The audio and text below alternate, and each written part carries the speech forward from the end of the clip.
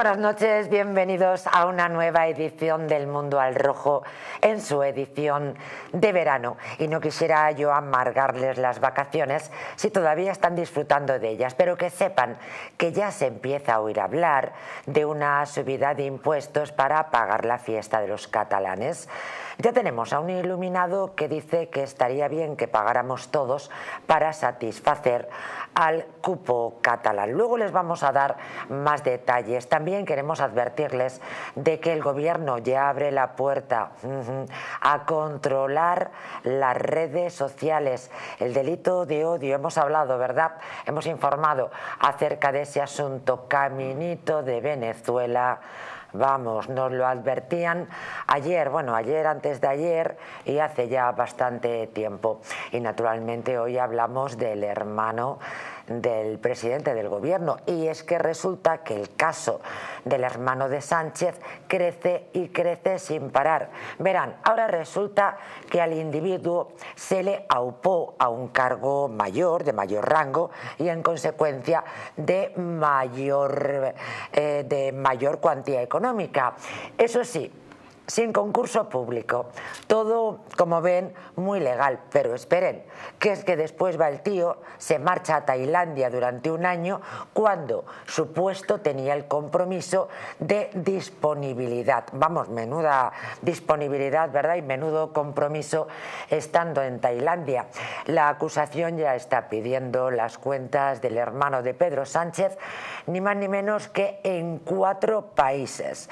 Y en la misma línea, el ministro Álvarez ya se está lavando las manos sí, sobre la contratación de la japonesa, que a la sazón era la pareja de el hermano de Pedro Sánchez. Bueno, esto es para ir haciendo boca porque vamos a hablar de la situación absolutamente insostenible de la inmigración ilegal en España. Y por supuesto, el último tramo del programa lo vamos a dedicar a Venezuela.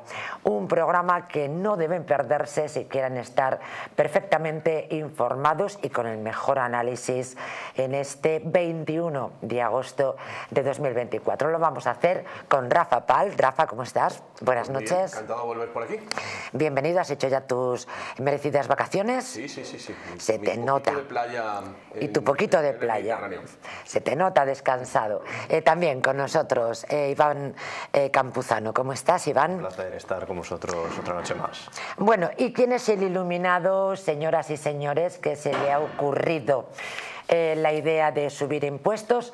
Pues Pepe Álvarez, que me recuerda al presentador de Saber y Ganar, que llevan 500 años en el mismo puesto. Miren, Pepe Álvarez aboga por subir impuestos para satisfacer el cupo catalán.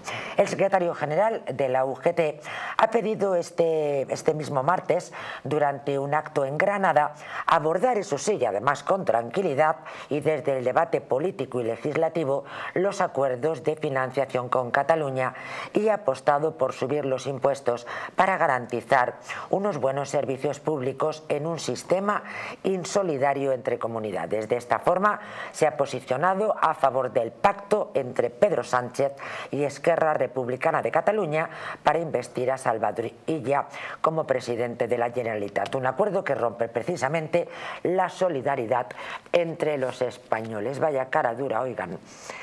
¿Cómo analizamos esta menuda noticia para volver de vacaciones? Bueno, es una noticia que yo creo que todos teníamos en mente. Al final, recordemos que UGT en Comisiones Obreras no dejan de ser dos satélites del Partido Socialista, lo cual me sorprende este tipo de declaraciones porque también hemos visto como la ministra de Hacienda, que es la responsable de llevar a cabo esta reforma para cobrarnos a todos los españoles más impuestos aún como si no pagáramos pocos, pues ha dicho lo contrario esta, esta misma mañana, de que no, efectivamente. Entonces, claro, a uno le sorprende que unos digan A, otros digan B, es decir, que ya ni siquiera dentro del propio Partido Socialista o dentro de las consignas de los cobradores de impuestos, porque siempre van en la misma dirección, pues ni siquiera hay un discurso único ni una dirección clara. Lo que está también claro es que representando a los trabajadores, porque recordemos que es uno de los sindicatos mayoritarios de este país, ¿qué pasa con los trabajadores de Andalucía? ¿Qué pasa con los trabajadores de Extremadura? ¿Qué pasa con los trabajadores de aquellas comunidades que están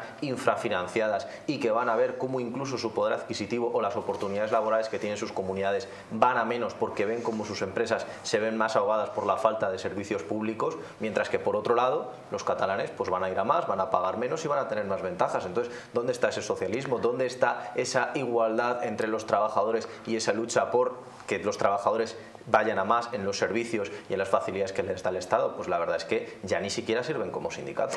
Inmediatamente, en un ratito, vamos a hablar efectivamente de la ministra de Hacienda, que la verdad no deja de hacer el ridículo eh, basado en esta eh, comentario que ha hecho eh, Iván Campuzano, eh, pero seguimos abordando bueno, pues esta posibilidad, según este individuo y, su propuesta hoy en Granada, que a la vuelta de las vacaciones podamos encontrarnos una subida de impuestos para contentar a los catalanes. Mm, yo creo que muchos votantes de la izquierda, cuando les dicen subir impuestos, mm, no lo asocian con algo que les afecta. Yo creo que los periódicos deberían eh, decir las cosas más claras. O sea, lo que está abogando, por lo que está abogando el jefe del sindicato UGT es por, como ha dicho Iván, una pérdida del poder adquisitivo de los trabajadores por un endeudamiento, o sea, está, está abogando por el empobrecimiento de la clase trabajadora española eh, para sostener o para permitir que bueno, pues, eh, Cataluña mm, florezca.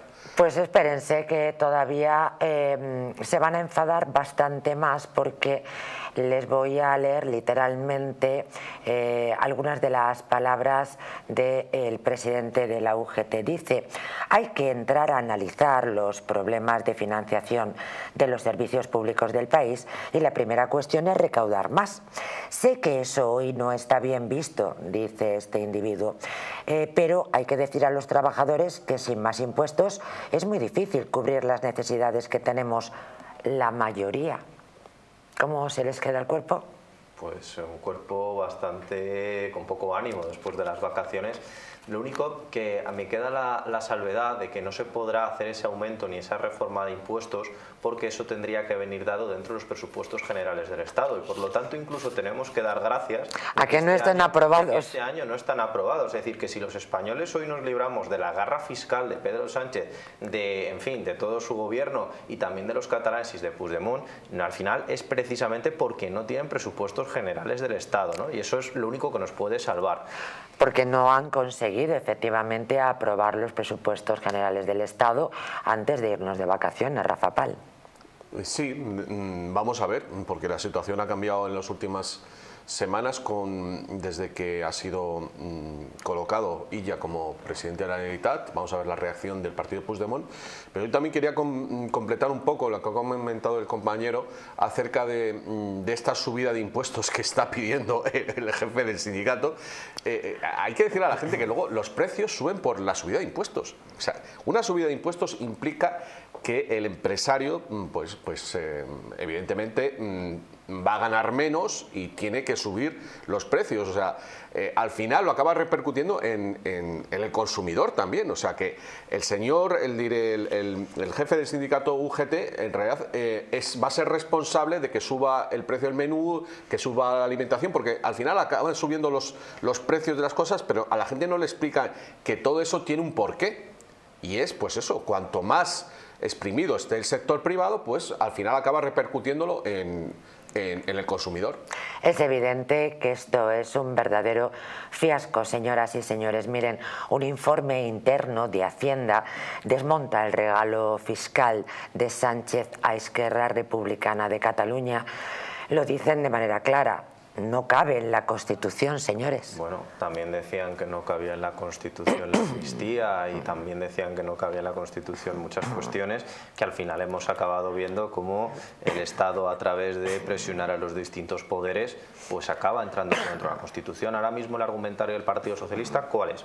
Esto está dentro del marco del estatut, esto no va a ser un cupo igual que el vasco e igual que el navarro, pero va a tener ciertas similitudes, aunque volvemos a lo mismo. Al final, ¿qué son ciertas similitudes? Que los españoles vamos a pagar más, que el resto de comunidades autónomas van a tener que apresarse el cinturón y que los catalanes van a tener una financiación adicional, es decir, nos van a costar a todos los españoles 25.000 millones de euros. Y 25.000 millones de euros para que el espectador lo ponga en consonancia es hablar de prácticamente tres veces toda la sanidad madrileña.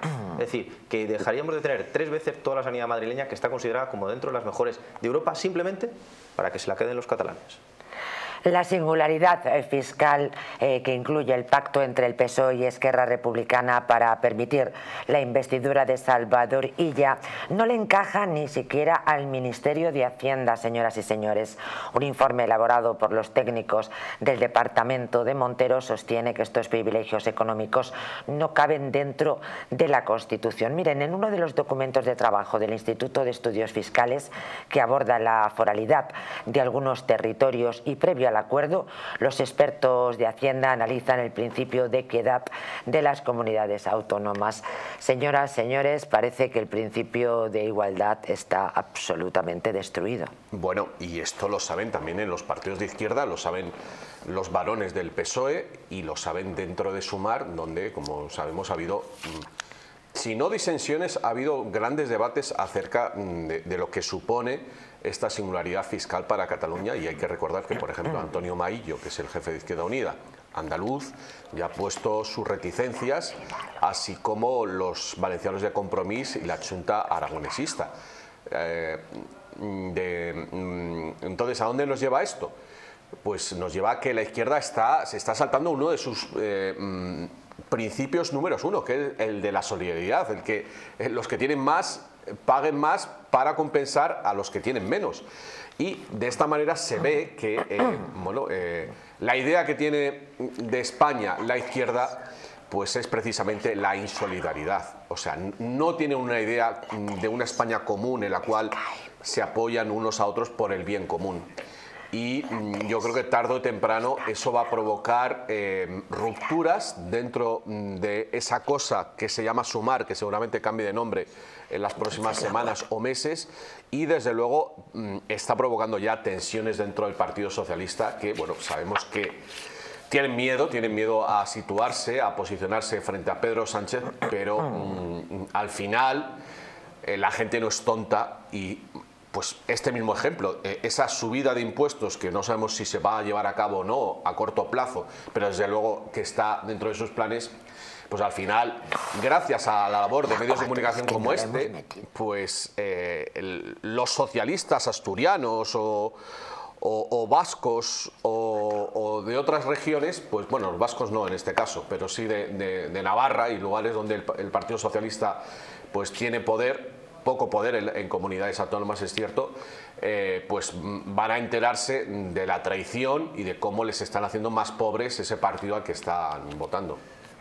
Bueno, al final tenemos que entender que incluso los impuestos que pretende eh, desde UGT y desde el propio Partido Socialista los que tendrían que hacer o ampliar serían literalmente todos a todas las clases sociales, porque recordemos que, ahora mismo, por poner un ejemplo, este mes de julio se han creado 10.000 millones de euros más de deuda pública en España. Han tenido que emitir un crédito conjunto. Es decir, que al final la fiesta no se paga sola, la vamos a tener que sostener todos y por poner otro dato encima de la mesa, a día de hoy el índice de libertad fiscal, es decir, lo que pagamos todos los españoles de impuestos del total de lo que ganamos en el año, nosotros empezamos a recibir realmente dinero en nuestro bolsillo a partir del mes de julio. Es decir, que incluso ya nos tendríamos que ir con esta ampliación de impuestos al mes de septiembre, por lo tanto, cualquier español que nos esté viendo ahora mismo trabaja para el Estado de enero a septiembre y a partir de ahí ya el dinero es suyo. ¿Cuánto más nos van a exprimir a los españoles?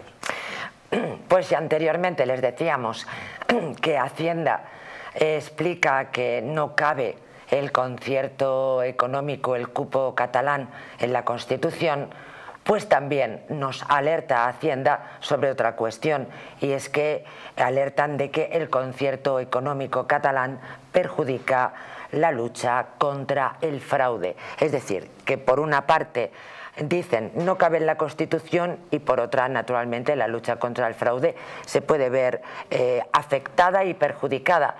¿Por qué?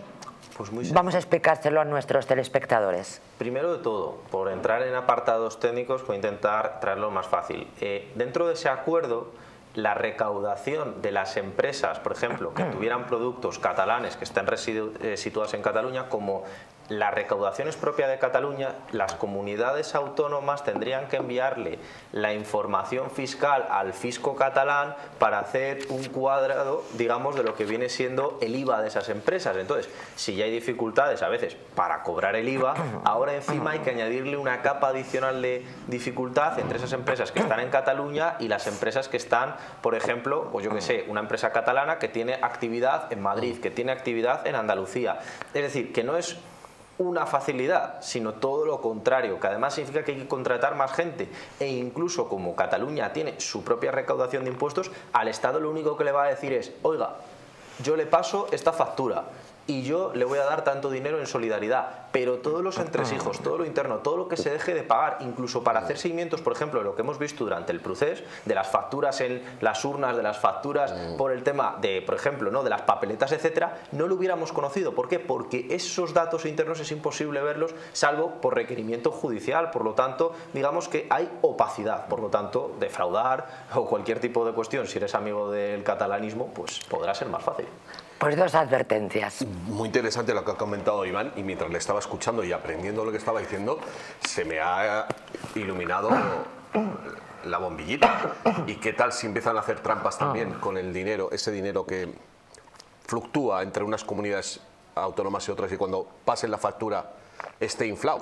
Es otra forma también de, hacer un fraude porque puestos a pedir, pues van a empezar a, a, pedir a lo grande y vete tú a saber de qué manera van a intentar ah. rapiñar dinero de esas empresas que, como bien dice, pues es difícil localizarlas, que tengan la sede social en Barcelona, pero tienen actividades en diferentes regiones de España. O sea, va a ser un lío, va a ser un follón y va a haber problemas seguro. Así que inconstitucional y encima alentando el fraude fiscal. Vamos, que Pedro Sánchez se está cubriendo de gloria. Señores, naturalmente algunos varones están en contra. Sánchez eh, se blinda de sus varones críticos con las cesiones fiscales a Esquerra Republicana de Cataluña, ni responde a los mensajes, dicen.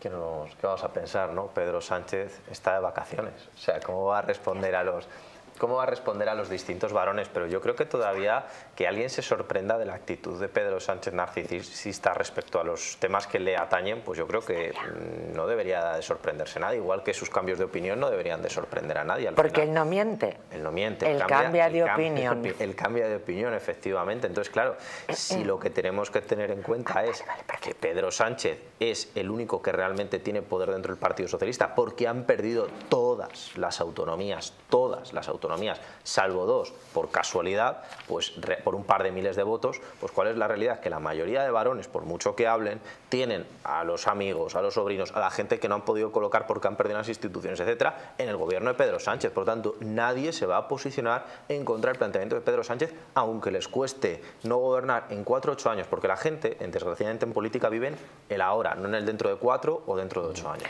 Pues en torno a esta noticia les voy a dar más datos que vamos a analizar. Miren, Pedro Sánchez va a convocar a los varones territoriales del PSOE a principios del mes de septiembre para zanjar, dice, la polémica de la financiación singular de Cataluña.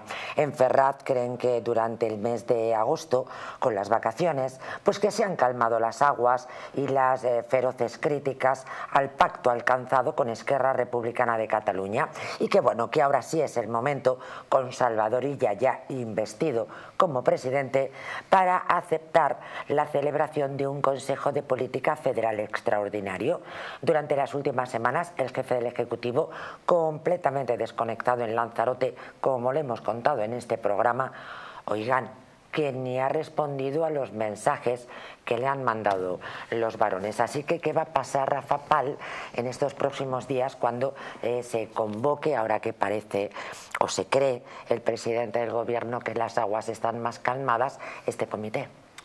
Pues yo creo que eh, aquí lo que sucede es que el de facto número dos del PSOE es Salvador Illa. Por algo se ha ido a Lanzarote eh, de vacaciones para coincidir con Pedro Sánchez.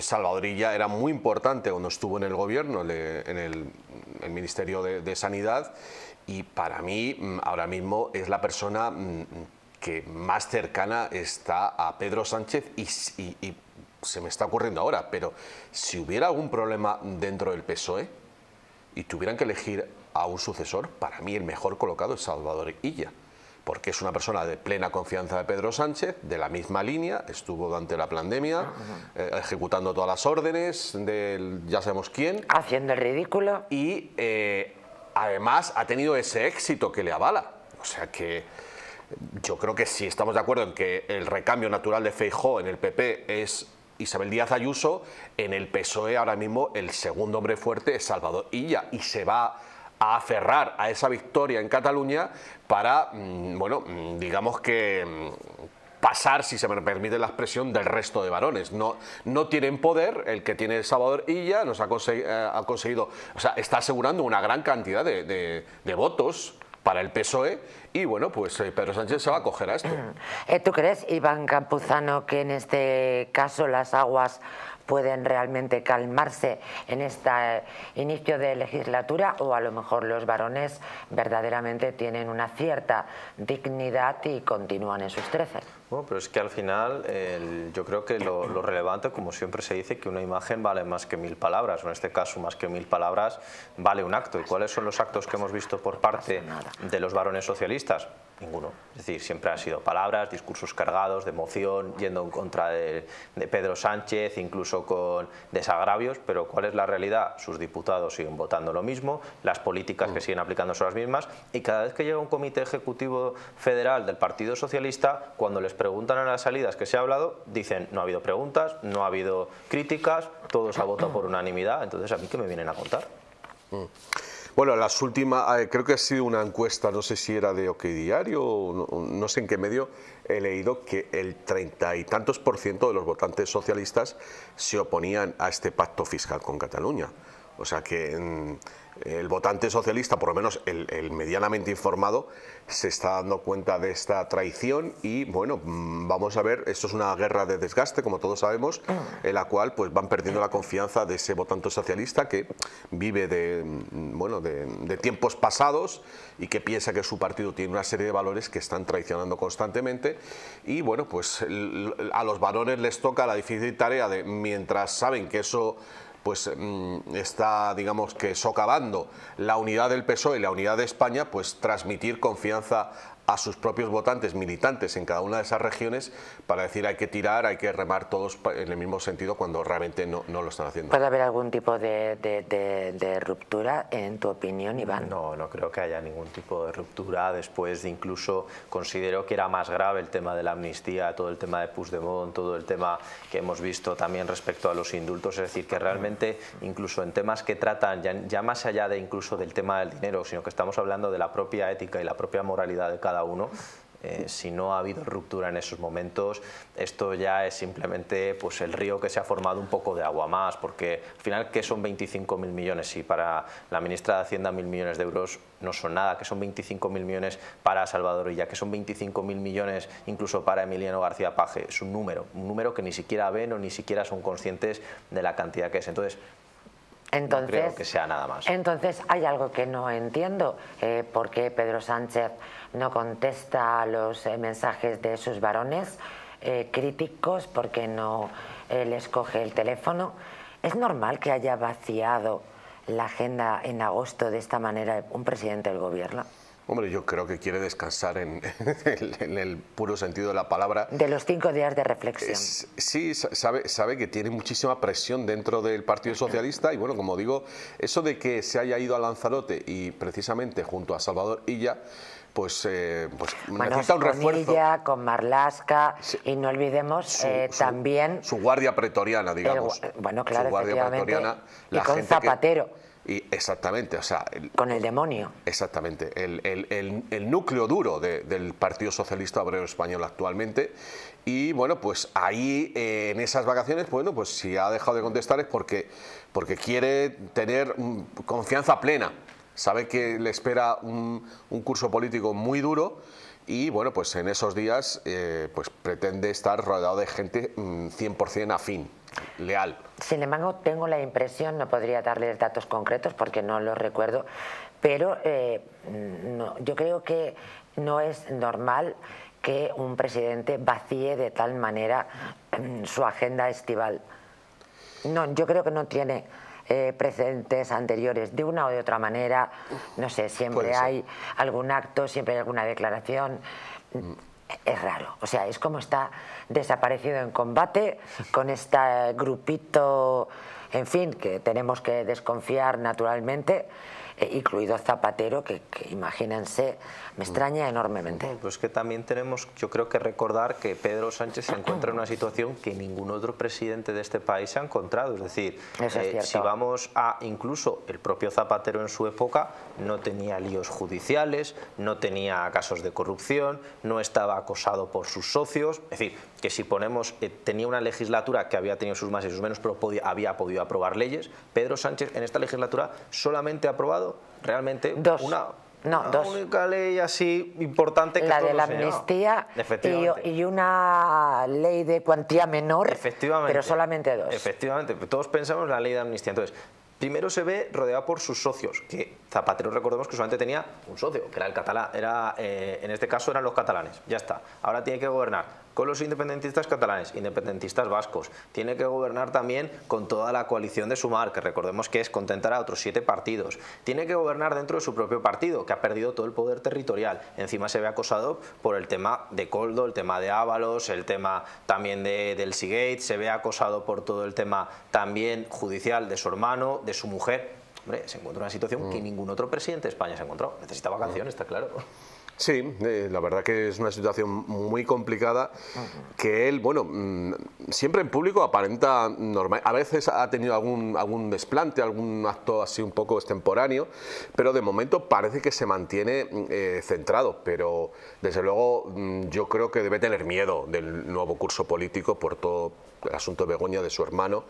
Eh, y, al final, mm, pues todo eso, como hemos comentado en algún otro programa, eh, le quita también eh, energía para la vida política. Cuando tú tienes que estar eh, digamos, defendiéndote de ataques, en este caso, bueno, no son ataques, son juicios eh, por corrupción o presunta corrupción, pues eso al final acaba mellando de, las, las 8 o 10 horas que esté, digamos, ejerciendo como presidente al día, pues le tiene que dedicar unas, unas cuantas horas a, bueno, a repasar los juicios y tal, lo que le está pasando a Begoña, a su hermano, y eso al final pues hace que, evidentemente, pues la legislatura eh, pues no, no, acabe de arrancar. Y, si a eso le sumamos pues todos los problemas que tiene encima con todos los partidos políticos con los que tiene que lidiar, bueno, pues sabíamos, de hecho, después del resultado de las elecciones del año pasado, que esto iba a ser la norma. Cuando tú tienes que gobernar con, al final, yo qué sé, son 7, 3, 10 o 12 partidos, pues evidentemente son muchas reuniones cada vez que quieres aprobar una ley, ¿no?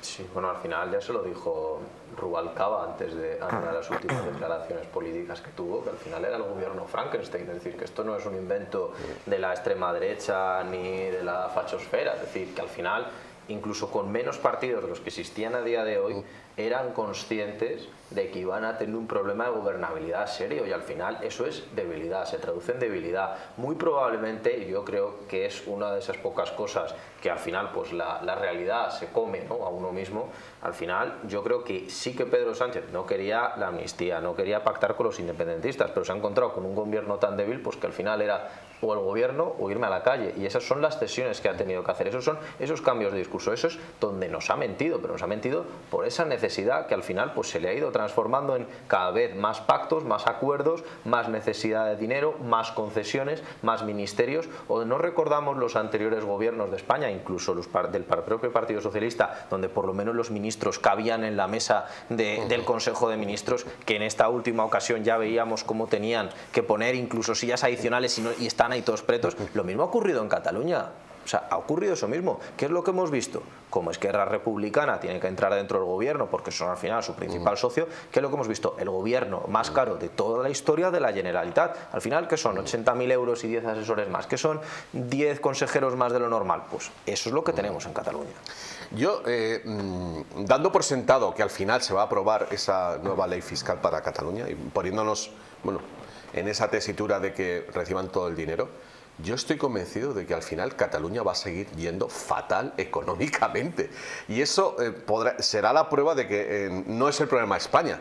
Van a seguir teniendo grandes impuestos, entre otras cosas, porque claro, tienen que hacer, hacerse cargo de todos estos menas inmigrantes a los que les están dando las paquitas. Entonces, por mucho que ahora mismo estén diciendo que el problema es España y tal, que nosotros cuando tengamos el dinero, esto todo va a ir fenomenal, va a ir igual o peor, porque la corrupción que hay en, el gobierno catalán y, más que la corrupción, el despilfarro de dinero que hay va a hacer que al final los catalanes no vean ninguna de las, digamos, eh, eh, bonitas posibilidades que les pintan en el futuro, un futuro halagüeño cuando seamos capaces o tengamos el poder de gestionar nuestros propios impuestos.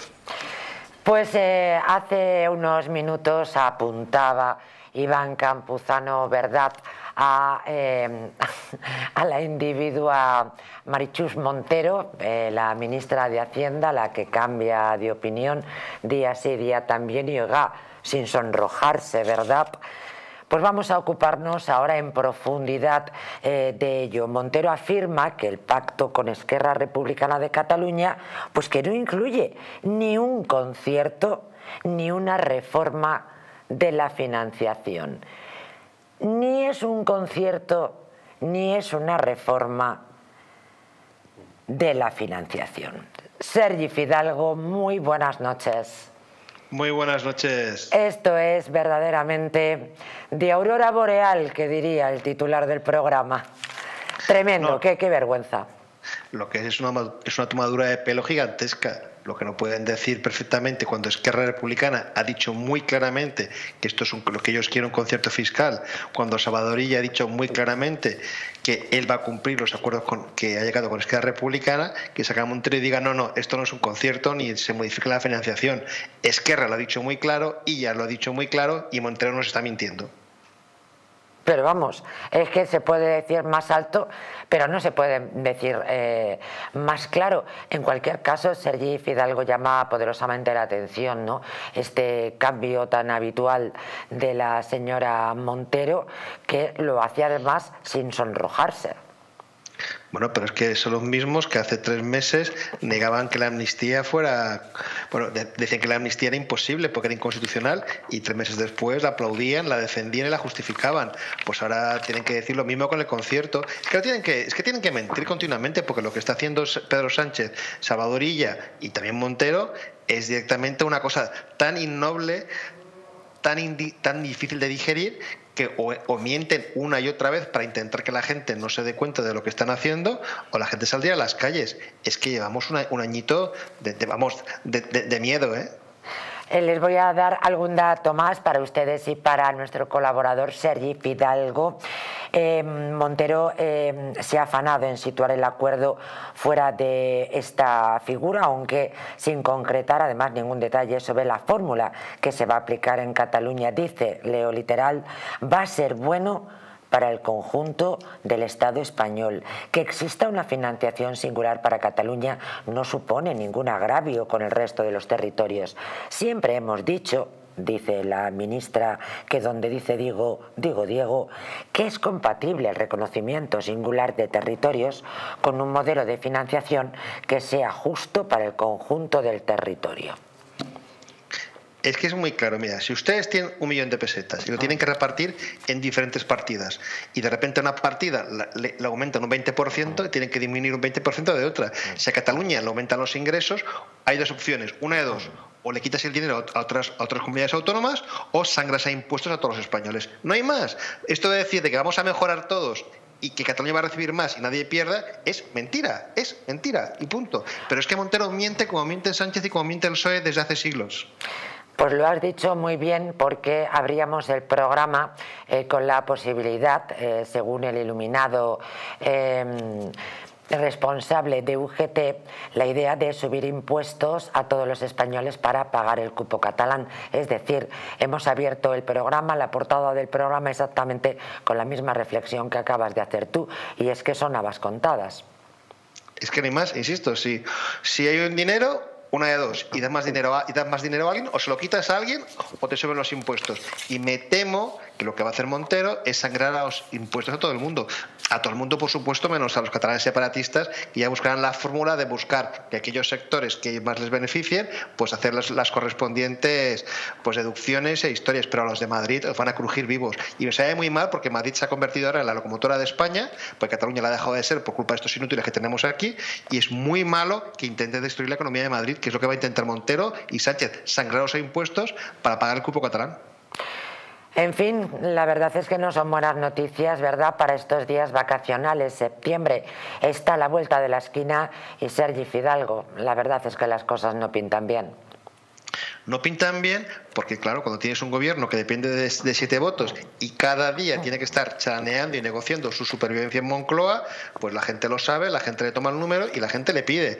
Y como este hombre da, da por supuesto, da a los, a los enemigos de España, pues le, sacan todo lo que quieren y más. Ahora ya, ya ahora no tiene que pagar solo las facturas suyas para seguir en Moncloa, paga las facturas suyas y las de ella para seguir de presidente de la Generalitat. Si tienes que pagar dos facturas cada semana, pues tienes un problema, porque es más dinero que es dinero, por supuesto, tuyo y mío y de toda la pues, audiencia. Pues nada, señoras, señores, eh, disfruten del bikini hoy del bañador porque parece que nos toca abrocharnos el cinturón. Sergi Fidalgo, muchísimas gracias.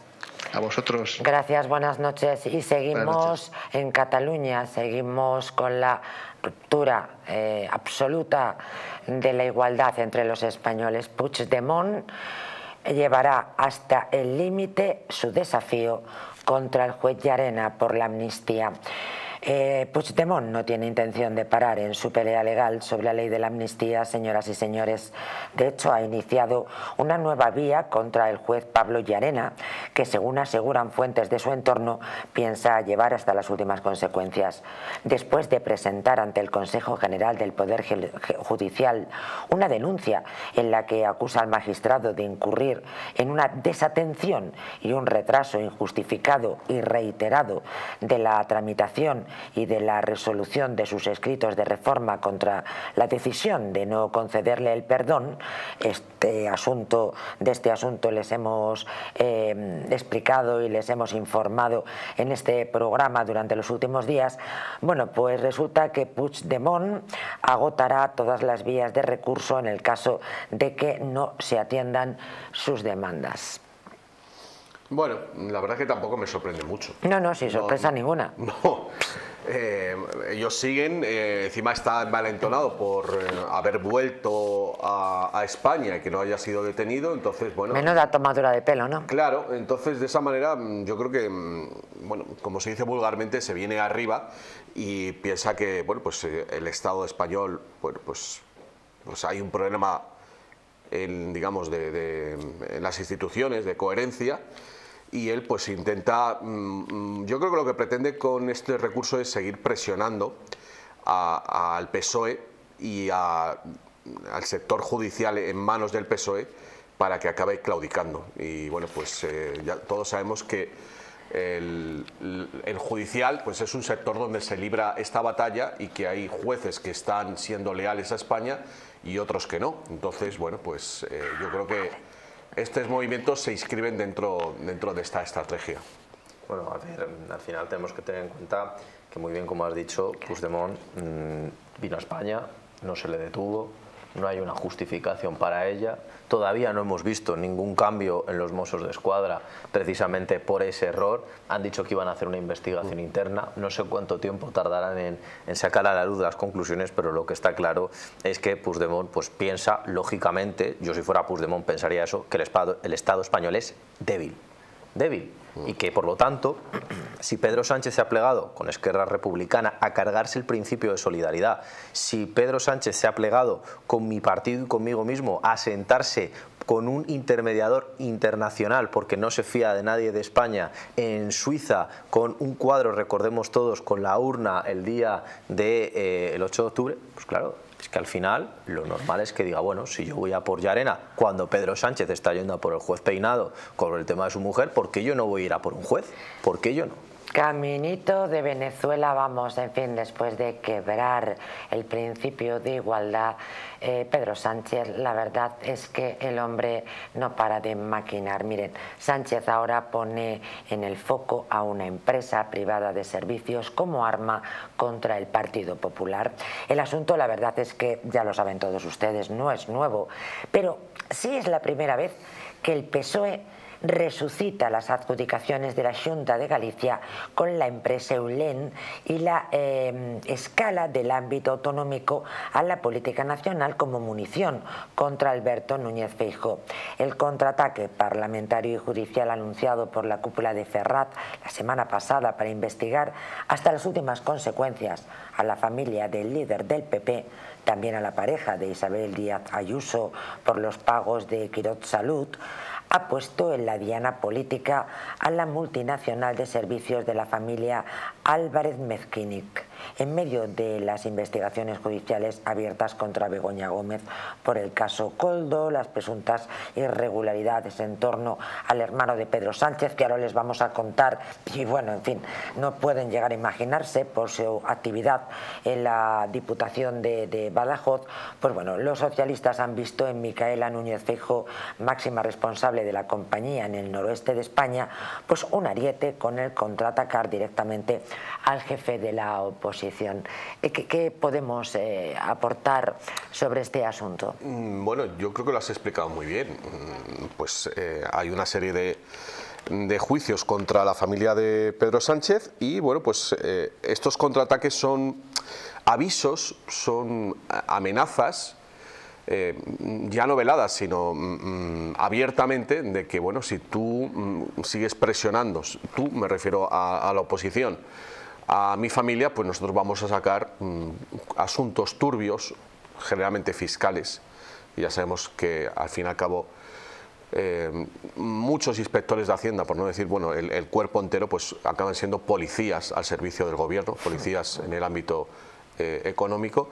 Y bueno, pues mm, de eso se compone la política, de trapos sucios, de informaciones para presionar al enemigo y que, bueno, pues que dentro del PP, digamos, que bajen un poco el tono eh, para no seguir presionando al PSOE. Bueno, pues parece que esto, señoras y señores, es la antesala en el Congreso de las comisiones de investigación.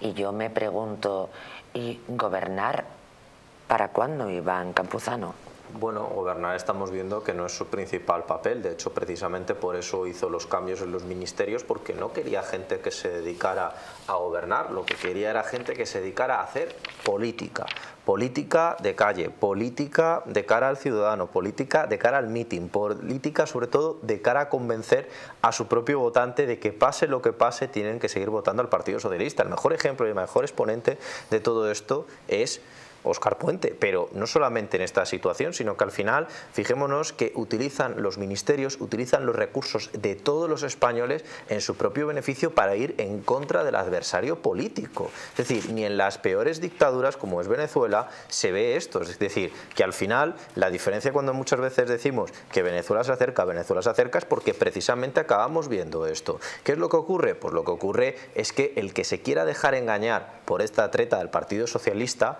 es realmente o corto de miras o precisamente porque en sí mismo prefiere dejarse a veces engañar. Oye, hay veces que dicen o la razón o la vida, pues hay veces que hay gente que prefiere la vida y que le, y que le cuenten lo que quieran. Por poner simplemente dos datos encima de la mesa. Begoña Gómez es la única intermediaria por su propio nombre y cuenta.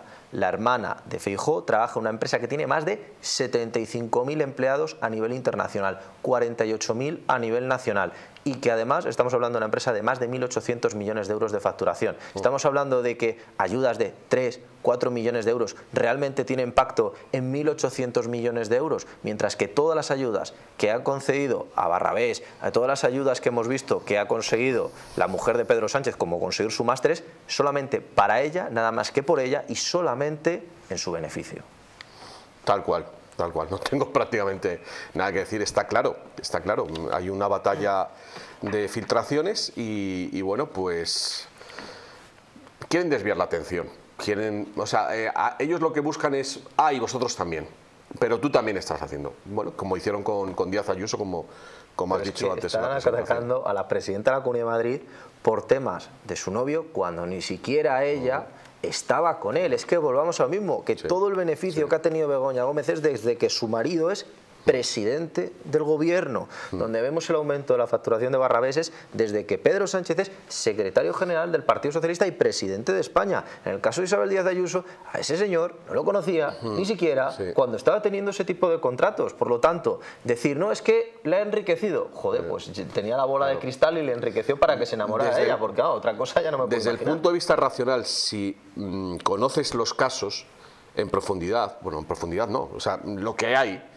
pues te sale ese razonamiento. El problema es que, dado que hay una serie de medios de comunicación que están dando la matraca continuamente con esos temas, véase la SER y la Sexta sobre todo, al final el votante socialista se queda con, ah, pues mira a Díaz Ayuso, y no, se acaba enterando de realmente pues, las inconsistencias de, todo esto. Igual va a pasar con, con la hermana de Núñez Feijó.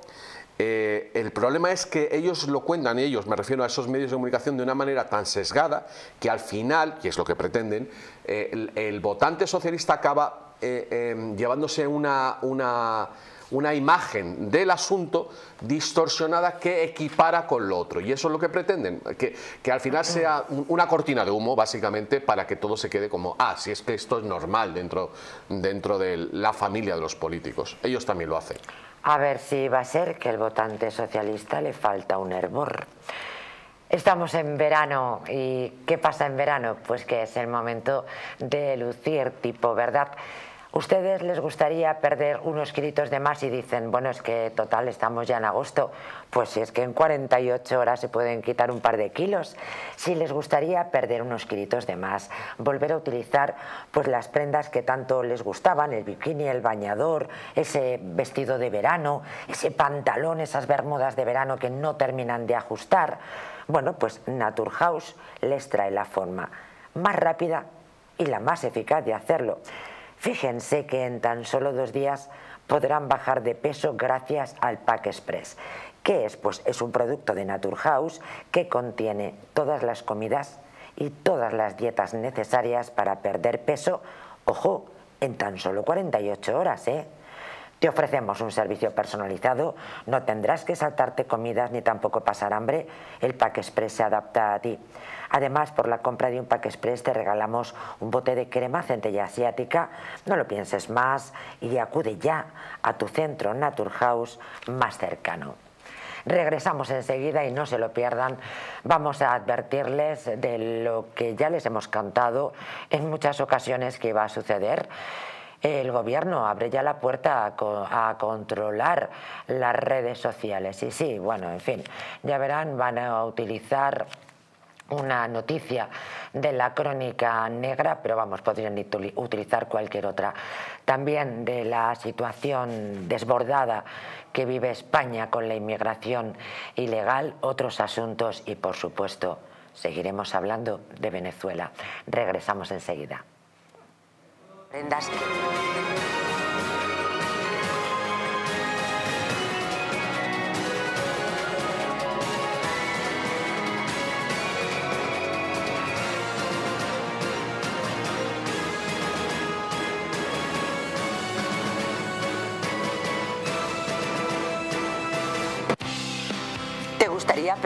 esos kilitos de más? ¿Volver a utilizar aquellas prendas que tanto te gustaban? Naturhaus te trae la forma más rápida y eficaz de hacerlo. En tan solo dos días podrás bajar de peso gracias al Pack Express, un producto de Naturhaus que contiene todas las comidas y dietas necesarias para perder peso en tan solo 48 horas. Te ofrecemos un servicio personalizado, no tendrás que saltarte comidas ni pasar hambre. El Pack Express se adapta a ti. No lo pienses más y acude a tu centro Naturhaus más cercano. ¿Te molestan las manos al realizar las tareas diarias? Frente al dolor, utiliza los guantes de Relax Quanting Nanotech. Innovación revolucionaria en la lucha contra el dolor y la rigidez Con sesiones de 20 minutos los guantes aportan masaje, vibración y también calor, proporcionando alivio medio del tormento. Puedes adquirirlos con unos consumibles impregnados de sustancias naturales antiinflamatorias que, si se ponen durante la sesión, pueden aumentar el beneficio del guante. Olvida los engorrosos baños de agua caliente y las cremas antiinflamatorias. Libérate con los guantes de relax Quantin Nanotech. Hotel Las Dunas, un lugar mágico en el corazón de la Costa del Sol. En primera línea de mar, situado en un oasis de armonía, tranquilidad, enfocado en la salud y bienestar de nuestros huéspedes. Desconecta del estrés y la monotonía del día a día. Estancias con programas exclusivos y personalizados de salud, rejuvenecimiento y control del peso. Elegancia y bienestar junto al mar sin renunciar a la actividad y la vida saludable. Descubre las Dunas Hotel Health and Spa, el más exclusivo de toda la Costa del Sol.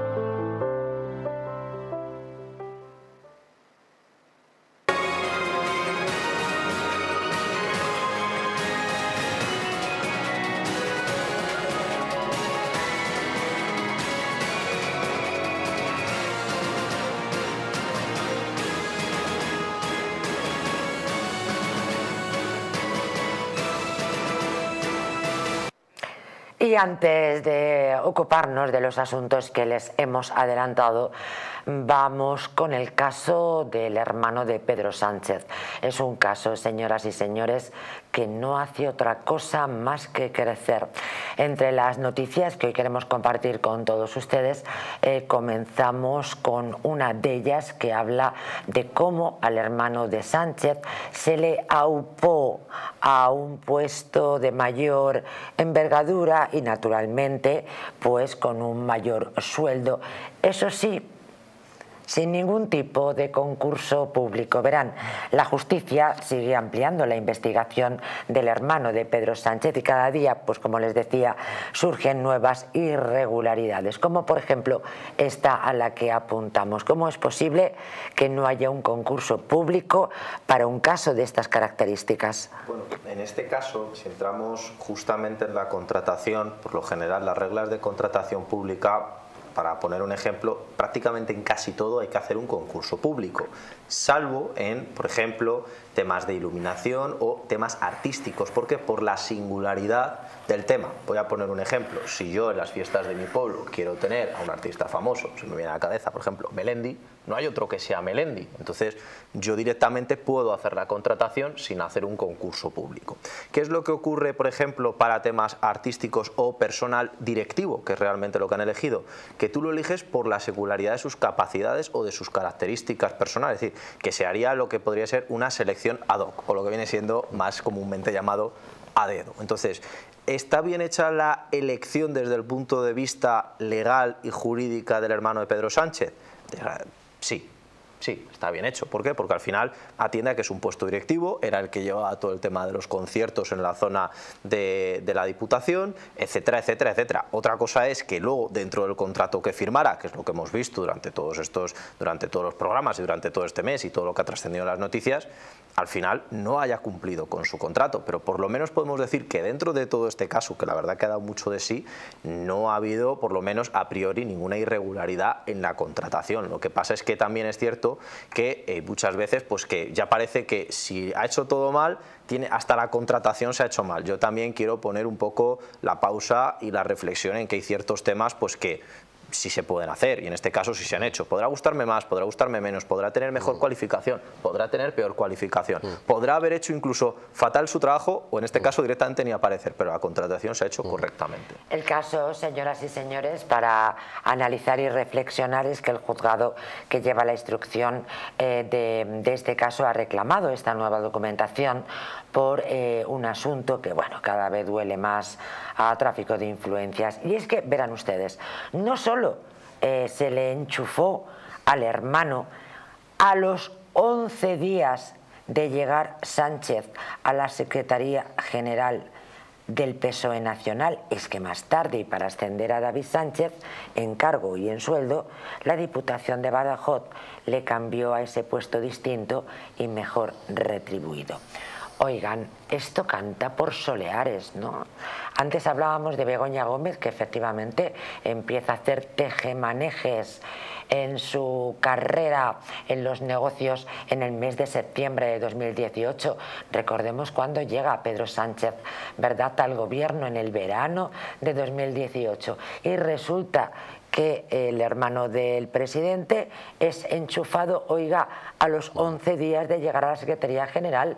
de Deprisita, deprisita, que esto no es una excursión. Yo creo que el timing en este caso pues indica que evidentemente ha habido un trato de favor incluso aunque como bien dice Iván, pues de acuerdo a, la normativa pues no sería perseguible. Pero, em, en fin, pues está claro que si a los pocos días de alcanzar ese cargo le nombran, pues ha habido una llamada ahí.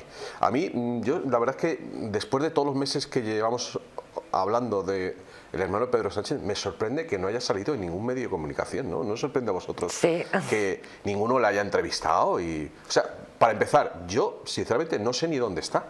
Yo no sé si está en, el extranjero, mm, ya parece como un, un hombre muy, viajado. ¿eh? Sí, sí, parece como, es un, es un misterio, ¿no? Este hombre, que ninguno le haya, yo qué sé, un micrófono, un, canutazo que se dice por la calle. A ver si va a ser una realidad virtual. Eso es, un holograma, no existe. algo, porque cuántos meses llevamos hablando del cinco meses y tal, y, en ningún momento nadie se le ha acercado, ¿no? Que estará en Japón ¿eh? con la, mujer o no sé. Bueno, ahora hablaremos de la japonesa y del ministro Álvarez que se lava las manos. Esto cada vez huele peor, señoras y señores. Qué observación tan interesante ha hecho Rafa Pal, ¿no te parece, Iván? Es que al final, eh, aunque haya llegado de una manera legal como siempre hablamos, para ser político no solamente hay que cumplir con la ley, hay que ser ejemplarizante porque al final son nuestros representantes. Y obviamente si después de que tú hayas llegado a la presidencia del gobierno, 11 días después, están contratando a tu hermano con un sueldo para nada baladí, en una situación para nada privilegiada, pues hombre, la verdad llama la atención y yo creo que eso... Para nada privilegiada, para no. Nada, para nada privilegiada, por supuesto. como ironía, ¿verdad? Como ironía, entrecomillado, ¿no? Para nada privilegiada. Entonces, claro, al final lo que nos tenemos que dar cuenta no es que no nos tenemos que centrar en cómo ha llegado, porque todos sabemos cómo ha llegado ahí, nos tenemos que centrar en que se le ha contratado para una función que no ha cumplido, se le ha contratado con unas, con unas condiciones que no tiene, se le ha puesto un despacho ad hoc cuando ni siquiera iba a trabajar y se, y se le pedían unos correos por parte de la UCO que luego resulta que había habido un problema por parte de la, por parte de la Diputación y resulta que dos años de correos habían desaparecido y entonces la UCO tenía que volver a pedir la solicitud hasta que se, eh, hasta que se solucionara el problema. Es decir, no es solamente la contratación, la contratación yo creo que es, incluso te diría yo, hasta lo de menos, pero es que es muchas veces incluso el fondo de la cuestión. Es decir, ¿por qué, si lo que quieres es dinero, si lo que quieres es colocar a tu hermano, ¿por qué lo pones en un sitio que al final va a acabar cantando, que al final todo el mundo te va a acabar pillando y que va a suscitar muchísimas preguntas? Si lo quieres poner un sueldo de 80, 100 mil euros al año, ponlo de asesor del ministerio, mándalo a la ONU o mándalo a cualquier institución extranjera, pero no lo pongas ahí, que es que todo el mundo lo va a ver.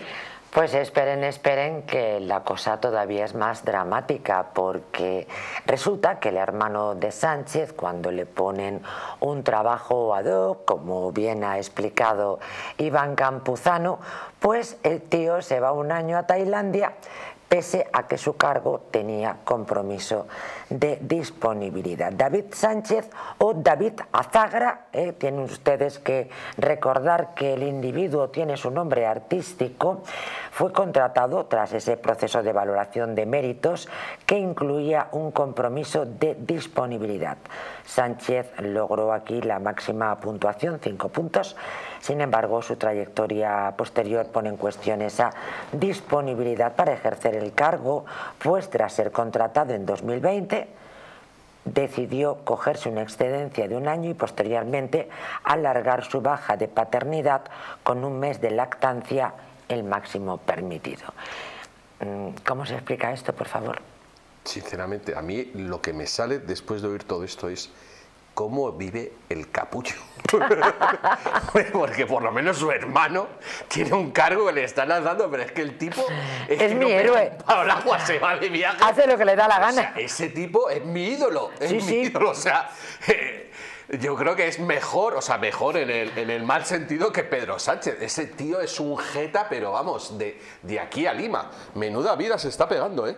Sí, la verdad que se está pegando una, o pareciera que menos se está pegando una buena vida, porque recordemos, piso en San Petersburgo, viajes a Japón, un año en Tailandia, Portugal y no ha, si es que no me extraña que no haya visitado la ni siquiera tuviera un despacho porque es que joder entre estar de vacaciones en una playa en Tailandia estar en Japón estar en Rusia o estar en Portugal en Algarve pues hombre mucho más trabajando en Badajoz. más entretenido muchísimo más entretenido que Extremadura. Pero vuelvo a lo mismo al final. Si, si lo que le quería colocar incluso incluso tú como Pedro Sánchez conoces a tu hermano sabes que tu hermano es incluso un más jeta que tú colócalo y mételo en la ONU que existe una, un departamento concretamente de temas de cultura, musicología, etcétera, pero no lo pongas en un sitio donde todo el mundo va a acabar viendo y todo el mundo va a saber que tu hermano es un jeta y cómo ha llegado ahí y al final otro problema más que te vas a buscar, es decir, al final es la sensación de impunidad que tiene. No pensaban que esto iba a ocurrir, yo creo. Es lo que en ningún momento se había pensado y bueno, al final están funcionando hay que reconocerlo, alguien está filtrando información ahí. O sea, si nosotros los periodistas o los comentaristas estamos comentando esto es porque hay unas investigaciones. Pero ellos no pensaban, como bien dices, que iba a haber esa investigación, no pensaba que iba a haber gente dentro del Estado que filtrara esa información, que bueno, Después seguramente... de perder la Junta de Extremadura, Ah, bueno. Es que claro, sí. o sea, al bueno, final a es que a ver que les falta un error partido. perder la Junta de Extremadura. Lo mismo va por ahí. Bueno, estas noticias la verdad es que era para que esbozaran ustedes una sonrisa que ha rematado magistralmente Rafa Pal. Pero venga, vamos a ponernos serios y no es que desde luego no tuviera enjundia que una persona eh, acepte un compromiso de disponibilidad y se largue a Tailandia. Pero miren, mmm, la cosa ya es que se pone seria. Extrañeza y vergüenza entre los inspectores y los fiscalistas por el informe de Hacienda sin firma sobre el hermano de Sánchez. Les hemos hablado en este programa, en El Mundo al Rojo, de ese informe. Se trata de un informe de 31 páginas en el que se trata de exonerar al hermano del presidente del gobierno de irregularidades y de delitos fiscales y se realiza un análisis detallado y muy imaginativo sobre su residencia fiscal sin firmar y sin membrete. Bueno, es que esto es lo que ha remitido la agencia tributaria a la juez de Badajoz que investiga a David Sánchez hace dos semanas, mes y medio después de que ésta solicitara un informe patrimonial, o sea, vergüenza extrañeza. Bueno, esto va, abunda un poco en el comentario que he hecho hace un rato acerca de estas batallas internas que hay en diferentes instituciones del Estado. En este caso, Hacienda, he dicho antes, bueno, que los inspectores se están comportando, son, vienen a ser una especie de policía al servicio del gobierno. Es cierto, pero al mismo tiempo también eh, es cierto que están salvando la cara y eh, a, tanto asociaciones de inspectores de Hacienda como mmm, ex inspectores están diciendo mmm, las cosas que se están haciendo mal y están denunciándolas. Lo que pasa que, bueno, al final, pues eh, digamos que el, el, la institución pues está al servicio del gobierno y entonces se producen estos desencuentros entre lo que los inspectores de Hacienda saben que está mal y estos informes que encima no llevan firma pues para que no quede claro que es el propio gobierno el que lo está redactando. Bueno, pues que al final hay alguien en el propio Ministerio de Hacienda, primero, que venga sin rúbrica, si lo han pedido el Ministerio de Hacienda, pues tendrá que tener la rúbrica por lo menos del Ministerio de Hacienda, que es que eso ya es hasta de cutreza a la hora de enviar los papeles, ¿no? Pero también es cierto que alguien habrá investigado, alguien habrá realizado dicho papel, como siempre en todas estas cuestiones. Al final alguien tiene que ser responsable, porque ¿qué pasa si la jueza en este caso necesita una aclaración? Tendrá que llamar a alguien a testificar como, oiga, usted necesito que me haga esta aclaración respecto a este punto que está poniendo en este informe. Es imposible localizar a una persona que no firma dicho papel, ¿no? Pero incluso vamos más allá. Recordemos que ya no solamente las cifras o esa contabilidad creativa del propio Ministerio de Hacienda, que fíjate que cualquiera de nosotros deja de pagar mil euros y ojalá me hicieran a mí un informe exonerándome de 31 páginas diciendo que he dejado de cobrar o que he terminado de cobrar algo, ¿no? Incluso vamos más allá. Recordemos que durante tres años ni siquiera hizo la declaración de la renta y Hacienda ni, ni siquiera le pidió explicaciones. Es que eso me gustaría también verlo justificado con otras 31 páginas. ¿Cómo puede ser que alguien no declare durante tres años, siendo además cargo público, es decir, que solamente tiene las rentas del trabajo, por lo tanto es facilísimo hacer el seguimiento, y no haya hecho la declaración de la renta? ¿Cómo se justifica eso? ¿Cómo Hacienda puede justificar dicho error? La acusación, siguiendo con el caso del hermano del presidente, está ya pidiendo los movimientos bancarios. Movimientos bancarios en cuatro países, porque como bien decíamos, el hombre es muy, pero que muy viajado. Acteo y solicitará las cuentas de David Sánchez en el extranjero. La asociación eh, que preside Ignacio Arzuaga va a pedir a la juez que investiga al hermano del presidente del gobierno que siga la pista económica y demande la información sobre sus movimientos bancarios en Portugal, en Rusia, en Tailandia y en Japón.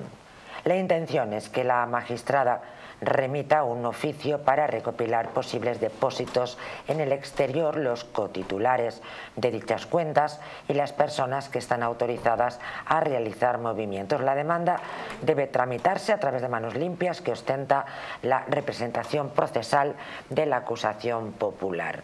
Rafa Pal, eh, cuentas en cuatro países, si es que es nuestro héroe.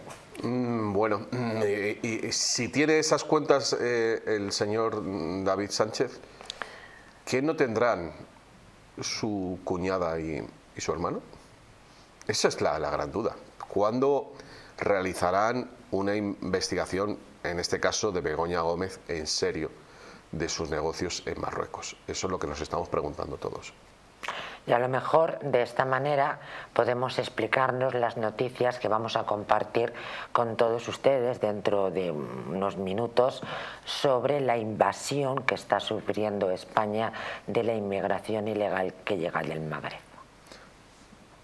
Pues yo fíjate que simplemente viendo el tema de las cuentas no me sorprende, primero, que alguien que se dedica a viajar mucho tenga muchas cuentas en el, en el extranjero, al final es normal, si esto estás en un año en Tailandia, pues no es práctico operar ¿no? con, un, con, un, banco español. O sea, al final, entre las comisiones, entre no sé qué, al final, pues es realmente complicado. ¿no? Pero lo que, no debe, lo que sobre todo deberíamos de ver no es tanto lo que tienen las cuentas extranjeras, porque probablemente no tenga tanto, no tenga tanto dinero ni siquiera, sino más allá, porque si realmente lo tuviera, pues ya lo habría movido a algún paraíso fiscal, ya habría hecho alguna empresa pantalla, es decir, que realmente ahí no va a encontrar nada Hacienda. Lo que hay que mirar es sus movimientos internos y sigo, sigo al final aplicando lo mismo, qué y de dónde y por qué aparece 1,3 millones de euros de acciones del, del BBVA. O sea, al final, eso, si vamos a las valoraciones, oiga, con un sueldo de 60, 80 mil euros, ahorrar 1,3 millones de euros, sobre todo cuando te dedicas a viajar por el mundo, que no es precisamente barato, ¿cómo usted ha conseguido ese dinero? Si es que es muy sencillo. Ah, los créditos ICO, lo mismo. ¿Por qué al final tiene, tanta, tiene tantas ramificaciones? O sea, no es las cuentas en extranjeros, ya simplemente lo que tiene aquí. Ya con eso ya nos dan para mucho. Les voy a recordar a todos ustedes eh, los datos. El músico ha declarado un patrimonio de 1,7 millones de euros, de los cuales 1,3 están invertidos en esas acciones del eh, Banco del BBVA, como bien ha indicado eh, Campuzano, un aumento de más de 300.000 euros en los últimos cinco ejercicios fiscales, una cantidad inasumible con el sueldo que recibe de la Diputación de Badajoz, donde cobra 53.890 euros anuales, que oiga, es un sueldo eh, muy competente, pero para tener un, casi 2 millones de euros. Yo simplemente hago una, simplemente hagamos un cálculo para, que lo, para que lo vea el espectador. Si yo gano 53.000 euros, estamos hablando del sueldo bruto, se nos quedarán aproximadamente unos 40.000 euros al año. 40.000 euros al año durante 5 años son 200.000 euros. Si me ha crecido el patrimonio en 300.000 hay algo que no me cuadra. No, no necesito saber nada más. Son habas contadas, ¿eh? Yo no necesito saber nada más. Entonces, ¿Ha, podido dar formación en el extranjero? ¿Tiene alguna compatibilidad dentro de su contrato que pudiera justificar que ha ganado dinero? Pero ¿y que, para qué va a necesitar compatibilidad, querido Rafa Pal? Este hace lo que le sale de los pies. Bueno, y la vivienda que tiene en San Petersburgo, me parece, ¿no? También. Y en, y en Elbas, en Portugal. Muchas propiedades. En fin, bueno, pues vamos a seguir con el mismo caso. Álvarez, el ministro Álvarez, claro, ahora ya yo creo que se están empezando a echar para atrás. Ahora se desentiende de la contratación de la japonesa. ¿Quién es la japonesa? La japonesa vinculada, dice, al hermano de Sánchez. Hasta donde yo sé, era su pareja. El ministro de Asuntos Exteriores, José Manuel Álvarez, se ha desentendido eh, este martes, ayer mismo, de la contratación por parte de la ONU de la funcionaria japonesa Kaori Matsumoto, eh, Matsumoto perdón, como directora de un programa de la Oficina de las Naciones Unidas contra el Terrorismo para Mauritania. Quédense con este dato, por favor, que se va a gestionar desde Madrid. El portavoz de Vox en la Comisión de Exteriores del Senado, eh, Ángel Pelayo, ha eh, identificado a esta mujer como la esposa del hermano del señor Sánchez. Eh, ahora le voy a dar más datos, pero ya Álvarez está diciendo yo no tengo nada que ver, echando balones fuera como está haciendo la Diputación de Badajoz. Ojo, se lo hemos contado en este programa, ¿verdad? Y todo esto sin ninguna fotografía de la persona. Tú sigues en lo tuyo, ¿verdad? Siendo un, misterio, ¿no? Es interesante. Eh, en fin, bueno, como has comentado también, extraño ese programa contra el terrorismo, el terrorismo en Mauritania, que en Mauritania. No, es un país del que haya salido mucho Al Qaeda. ¿Dónde va de gira ahora el presidente del gobierno? En Mauritania, Senegal, correcto. Sí, algo tendrá que ver más que con el terrorismo, con el tema de la inmigración, parece, ¿no? Mm. Debe haber contactos al más alto nivel con esos gobiernos, está claro. El caso, señoras y señores, es que la plaza de directora de este programa se creó poco después en un proceso interno de la ONU y había sido adjudicada a esta mujer, a Kaori Matsumoto. ¿Qué puede mm, explicarnos acerca de esto? ¿no? Eh, ha ido de alguna manera el diputado de Vox. Bien, el ministro ha replicado que una de sus prioridades es que haya el mayor número de sedes de organismos internacionales y de Naciones Unidas en España y ha dicho sentirse muy orgulloso eh, de que, eh, en fin, está eh, uno, UNOCT que es como se llama esta extraña, en fin, esta extraña oficina de Naciones Unidas contra el terrorismo que se ha abierto, pues nada, que que está el hombre como muy orgulloso que se haya abierto esta oficina en la capital española desde 2022. Dice que desde su creación somos el primer donante y lo vamos a seguir siendo mientras sea ministro de Asuntos Exteriores. Una vez que eh, entrega la contribución voluntaria es Naciones Unidas quien decide cómo se rige, cómo se establece y cómo se gestiona, ha puntualizado Álvarez. A mí lo que me fascina es que, mm, por una parte, siguen diciendo que no va a haber dinero para las pensiones, que España está en la bancarrota. Pero hay dinero Hablamos todo el rato del déficit y mientras tanto se está regalando dinero a otros países. O sea, es que es algo que, que es que yo creo que la gente no se da cuenta, o sea, del sinsentido que es que no tengamos dinero y que lo estemos regalando al mismo tiempo. Eso es una disonancia cognitiva tremenda. Bueno, pues si te estás enfadando eh, por este extremo, mm, prepárate porque vienen curvas. Señoras y señores, les vamos a, contar cómo entran más de 500 inmigrantes ilegales en Barajas trasladados por el gobierno desde Canarias. Y es que la crisis migratoria en el aeropuerto de Barajas eh, continúa. Casi estos 500 inmigrantes ilegales de origen subsahariano han llegado a Madrid procedente de las Islas Canarias. Eh, según eh, Rubén Pulido, analista y experto en inmigración, em, quien ha publicado en sus redes sociales un vídeo donde se ve la llegada de un gran número de inmigrantes africanos a una de las terminales aeroportuarias de la capital de España. Estos traslados han sido operados por las aerolíneas Iberojet y Air Europa en acuerdo con el Ministerio de Inclusión, Seguridad Social y Migraciones del gobierno de Pedro Sánchez. En fin. Bueno, eh, esto nos lleva a, preguntarnos qué estará pasando en multitud de pueblos de España, porque es que, claro, mm, en principio yo creo que todos pensamos un poco en Madrid, en Barcelona, en Valencia, en Bilbao, en las grandes ciudades, pero nos enteramos, por ejemplo, a raíz del caso del niño de Mocejón, que están llegando mm, grandes cantidades de inmigrantes a pueblos muy pequeños. Hoy he leído que en un pueblo de Galicia de repente han llegado 300 que son malienses. El 60%. Que son más, más del la, de la gente del pueblo. Imaginaos eso de repente, para el que, haya el que tenga pueblo, como en mi caso, un pueblo de Burgos, me imagino eso, lo que pasaría, que de repente cambie por completo eh, el componente mm, étnico.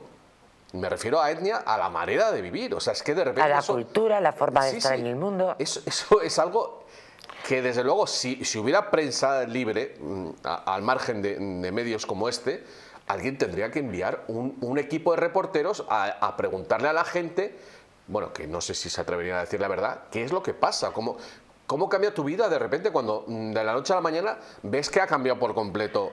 Cuando en esos pueblos, perdona, eh, de repente esos pueblos pequeños viene alguien de fuera y ya son cotilleos, simplemente una persona, una familia, porque es así, es cotilleo, de repente te vienen 300 de otro continente, pues evidentemente te va a trastocar tu manera de vivir. Hablas de prensa libre, enseguida vamos a acercarnos a cómo el gobierno abre ya la puerta a, censurar, a mm, cuestionar, a intervenir en las redes sociales. Tiene mucho que ver con lo que has comentado, se lo vamos a contar luego porque tiene mucho que ver con estas circunstancias y con el celebérrimo ya, ¿verdad?, delito de odio. Eh, les voy a dar dos datos más sobre esta noticia. Cabe decir que el gobierno de Pedro Sánchez ha fletado, mm, miren, presten atención porque es importante, desde el pasado 10 de octubre de 2023 hasta el viernes 28 de junio de 2024, al menos 100 vuelos de inmigrantes ilegales procedentes de Canarias. Los vuelos que traían a estas nuevas personas en situación irregular se sumarían a las que ya han llegado a la península lo que en fin nos llevaría a, en fin, a unas cifras escalofriantes donde, como les contábamos ayer, el PP está reclamando, está exigiendo al gobierno que declare ya inmediatamente la, em, em, la emergencia eh, de inmigración. Yo creo que algunas personas que nos están viendo se preguntará por qué, por qué los envían en avión. Y yo creo que la respuesta es porque si toda esa gente que está llegando en avión, que llegan de noche a Barajas, y prácticamente pues en la clandestinidad, salvo estos vídeos que está poniendo Rubén Pulido, no se ven, darían eh, mucho más el cante si todo ese número de inmigrantes llegaran a las costas en estas lanchas que llaman pateras. ¿Por qué? Pues porque eh, cuando llegan a una playa la gente los graba y lo comparte. Entonces da mucho más el cante eso que enviarlos desde, en avión desde las Islas Canarias. Miren la situación que estamos viviendo en una puerta de acceso de la inmigración ilegal como es Barajas. El Colegio de Abogados de Madrid está comparando ya la situación de Barajas con la de un campo de refugiados. Juan Manuel Maillo, miembro del Colegio de Abogados de Madrid, ha hablado este mismo miércoles, em, Es la Mañana eh, de Federico, sobre los problemas de los letrados que tratan con inmigrantes en barajas. El abogado ha explicado por qué le parece insostenible esta situación, asegurando que los funcionarios policiales están desbordados tratando de solucionar el caos con buena voluntad, pero con una falta enorme de medios. Bueno, pues se ha asemejado, insisto, esto es desde el Colegio de Abogados de Madrid, ha asemejado la situación del aeropuerto como más propia de un campo de refugiados que de un aeropuerto nacional. Por ello ha concluido que no se puede hacer una asistencia jurídica adecuada en unas condiciones adecuadas. En cualquier caso, les recordamos cómo en este mismo programa durante el invierno hemos podido ofrecerles a todos ustedes imágenes en vídeo sobre la saturación que se estaba viviendo en el aeropuerto de Barajas con personas hacinadas, durmiendo en cualquier lugar. Eh, el personal del aeropuerto se quejaba, pero es que ahora es el propio Colegio de Abogados. Es decir, parece un campo de refugiados. ¿Qué está haciendo Sánchez con España? Es que al final tenemos que tener en cuenta que por mucho que se le quiera echar las culpas a las comunidades autónomas o incluso a los propios gobernantes, concretamente a los presidentes autonómicos o incluso a, los que llevan políticas sociales de cada una de las comunidades autónomas, sería mentir, sería mentir, porque recordemos que cuando llegan los inmigrantes a Canarias, al final tienen unas garantías y hay un ordenamiento jurídico español, por lo tanto hay que cumplir con él. Los funcionarios, los funcionarios lo hacen de una manera extraordinaria, pero lo que está claro es que ni se destinan suficientes recursos ni se destina suficiente personal. Si Pedro Sánchez es consciente que va a tener que fletar 100 aviones llenos de migrantes y que van a tener que pasar por barajas para cumplir con las garantías jurídicas que tienes que darle a cada una de esas personas, independientemente de dónde venga, pues tendrás que destinar un personal, tendrás que destinar un dinero y no dejarlas hacinadas como si fuera un campo de refugiados. ¿Y a ustedes no les avergüenza que tengamos que destinar dinero para personas que llegan ilegal a nuestro país, pero la señora Mónica García, a la sazón ministra de Sanidad, niegue un medicamento contra el cáncer eh, que podría salvar numerosas vidas de españoles? Qué vergüenza de España, señores es que al final no hace falta ni siquiera ir al medicamento del cáncer. Recordemos lo que ha pasado con la ley ELA en este país. Efectivamente. O sea, no hace falta ir más lejos. Es decir, no hay dinero, es un gasto eh, impropio, etcétera. Es una de las mejores proposiciones que ha hecho el Partido Popular y que al final, por el egoísmo de este gobierno, que parece que no tiene dinero para nada, salvo para repartírselo con sus socios y para otro tipo de cuestiones, como las que estamos viendo, pues al final no llevan a ningún puerto. Es decir, hay gente española sufriendo que no además no no, se supone un gasto tan amplio que está viendo cómo no puede llegar a final de mes o incluso sus familiares lo pasan mal, incluso algunos llegan al punto de querer pedir que les quiten la vida a través de una eutanasia, precisamente porque no se les ha aprobado una ley que era necesaria y justa. La pregunta, señoras y señores, es ¿hasta cuándo? Reflexión que dejamos encima de la mesa y ustedes se preguntarán qué está haciendo eh, Sánchez cuando ayer mismo le estábamos contando cómo eh, Ceuta quiere eh, también declarar un estado de emergencia, como la policía eh, está pidiendo EPIs contra la viruela del mono, eh, porque se tiene que enfrentar naturalmente a esta inmigración ilegal, que además está totalmente descontrolada.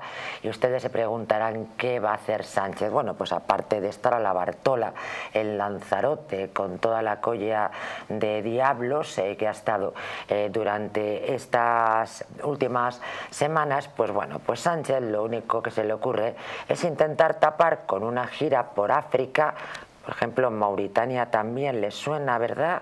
Mauritania, la japonesa, em, pareja de su hermano. Bueno, pues va a tapar con una gira por África su inacción ante el caos migratorio en Canarias. Emprenderá la próxima semana el presidente del gobierno una gira por la República Islámica de Mauritania eh, la República de Gambia y la República de Senegal para tratar de frenar la llegada de inmigrantes ilegales a las costas españolas. Esto es un postureo, en fin. Yo, sinceramente, llevamos años escuchando ese tipo de reuniones, sobre todo con el rey de Marruecos, ¿no? acerca de la regulación de la inmigración, pero ninguna de esas reuniones ha, logrado pararlo. Entonces, a mí me gustaría que a la vuelta de este viaje algún periodista le preguntara, y vamos a ver, ¿cuáles han sido los acuerdos con el gobierno de Mauritania, el de Gambia y el de Senegal? ¿A qué tipo de acuerdos han llegado ustedes? ¿Qué contraprestación va a hacer España y cuál es el compromiso de esos gobiernos? Porque si siguen llegando, entonces habrá que decir que han incumplido ese acuerdo o que Pedro Sánchez, en contra de lo que nos están diciendo, no ha ido ahí para parar la invasión migratoria, sino todo lo contrario. Porque habría que pensar mal. Fíjense que además se da la circunstancia eh, de que cerca de Lanzarote, donde el presidente del gobierno está pasando sus vacaciones, eh, yo creo que hace apenas unos días se ha instalado una carpa porque se prevé instalar allí a 8.000 menores, a 8.000 menas, a 8.000 personas que llegan de manera ilegal a España. Y que bueno, más allá del buenismo y las estupideces de algunos, les vamos a recordar que en este programa también se les ha demostrado a todos ustedes cómo esos menas enternecedores son gachos como armarios que se bajan eh, de de sus pateras con sus neoprenos, su teléfono y después me voy a callar de lo que sucede a continuación en las ciudades de España. Pues sí, las imágenes que se están filtrando confirman que no sé si todos, pero seguramente la mayoría son jóvenes adultos y no niños de 17 años. ¿Qué van a ser niños? No es cierto, pero claro, mm, nos encontramos con el mismo problema todo el rato. Vemos unas imágenes por parte de algunos periodistas intrépidos como Vito Quiles, pero el resto de la población no se entera, siguen pensando, por, alimentado por su discurso, de que son niños, que son niños desamparados. Y desde luego, e incluso a un chaval de 17 años ya no es un niño. Y si encima están teniendo comportamientos, algunos de ellos, no todos, pero algunos de ellos, eh, violentos o delincuentes, pues, eh, estamos importando mm, problemas básicamente para, para España. Bueno, al final tenemos que entender que la realidad de cada uno de esos chavales, sean más jóvenes, menos jóvenes, pues es realmente distinta, ¿no? Y al final también tenemos, también tenemos que entender que es una cuestión de recursos y sobre todo que al final es una cosa que se, ha, perdido el discurso hace bastante tiempo, pero el tema de la integración, parece que hablar de integración, parece que hablar de educación, parece que hablar de solidaridad también en este tema entre comunidades autónomas, parece que ha pasado de, parece que ha pasado de moda, pero ¿cuál es la realidad? La realidad es que ahora mismo Canarias tiene un problema muy importante, que el gobierno de Canarias no se puede hacer cargo de todos esos, de todos esos menas, de todos esos inmigrantes y que al final tienen que ser el resto de comunidades autónomas las que ayuden a que realmente pues tengamos, tengamos una mejor gestión de la inmigración. A ver, la realidad, la realidad, contado por amigos que han estado en Marruecos y por cosas que se están contando, es que esos chavales, que no son chavales, son vienen de reformatorios. O sea, han sido liberados por, por, eh, eh, por el, rey de Marruecos, por Mohamed VI, eh, pero realmente mm, son los que no quieren en Marruecos, básicamente. Básicamente, no. Bueno, llama la atención que el Partido Popular esté endureciendo el tono con Vox porque dice que mm, que el reparto de menas es un mensaje eh, xenófobo. El Partido Popular ha presentado un plan para combatir la inmigración ilegal después de que Pedro Sánchez haya anunciado esta gira por África para abordar este tema sin recibir antes al presidente de Canarias. ¿eh? Vamos a recordarlo. La formación de Fijo defiende que su propuesta está muy alejada del buenismo del gobierno y el mensaje xenófobo de Vox, ha dicho la vicesecretaria de Política Social, Ana Allos. Em, no sé, ¿dais vosotros vuestra opinión? Eh, yo lo que veo es que hay una voz discordante en el PP que se llama Xavier García Albiol, el, el, alcalde de Badalona, que sí que está dando un discurso muy diferente al de Núñez Feijo pero por lo demás, pues eh, la política del PP mm, y lo que están haciendo, de hecho, en, sus, las comunidades autónomas donde gobiernan es exactamente la misma que el PSOE. Hombre, no, esto no, yo creo que no es así, sobre todo porque al final, volvemos a lo mismo, dices, bueno, hace lo mismo que el Partido Socialista, vale, pero ¿quién tiene las competencias de inmigración? El Partido Socialista de España. ¿Quién es el que decide a esos pueblos que tú mencionas, que llegan hasta un 60% más de inmigrantes, quién es el que decide a dónde se mandan? El Partido Socialista Obrero Español, porque incluso a las comunidades autónomas como a la Comunidad de Madrid, cuando le dice dónde tienen que ir los menas o incluso los inmigrantes, no es que le digan, usted va a recibir mil inmigrantes, ¿cómo lo hacemos? ¿De qué manera? Desde la delegación del gobierno y se haga un plan estructurado. No, no se les avisa con días de antelación, oiga, usted va a recibir mil inmigrantes y se los voy a mandar, por ejemplo, a Alcalá de Henares. Eso es lo que está haciendo el gobierno. Por lo tanto, hablar de que las políticas del particular son las mismas que las del Partido Socialista, no te lo compro. Perdona, Iván, pero... Es lo mismo que, es al final, si al final te los mandan a ti, tú tienes que recibir la orden, ¿qué vas a hacer? ¿Vas a cometer una ilegalidad incumpliendo la orden del, mm. Estado? O sea, estás diciendo que cometa el, el particular una Ese punto te lo compro. Lo ah. que no te compro es que eh, en realidad el PP está manejando el mismo discurso de que estos tipos son pobres niños desamparados. Y eso lo ha dicho, Isabel Díaz Isabel Díaz Ayuso Isabel, no, no, que, que cada uno de ellos es Isabel, una realidad Isabel Díaz Ayuso Isabel Díaz Ayuso ha comprado ese discurso de que son pobrecitos niños y aludiendo a la caridad cristiana y obviando o silenciando las cifras de criminalidad que están asociados a los centros de menas.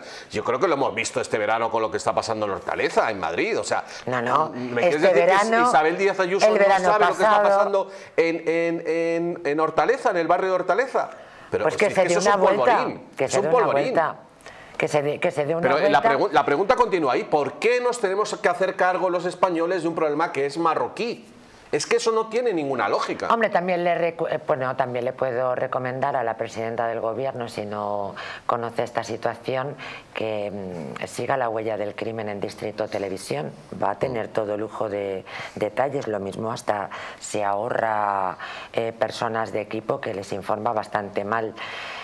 A ver si ustedes encuentran alguna relación entre todo lo que hemos hablado hasta el momento, el viaje del presidente del gobierno a Mauritania dentro de nada y a dos países más. A ver, a ver si ustedes relacionan. España dispara sus envíos de gas a Marruecos mientras cierra el grifo con vecinos como Italia. El rescate del gobierno de Pedro Sánchez al reino de Mohamed VI es a través de las infraestructuras.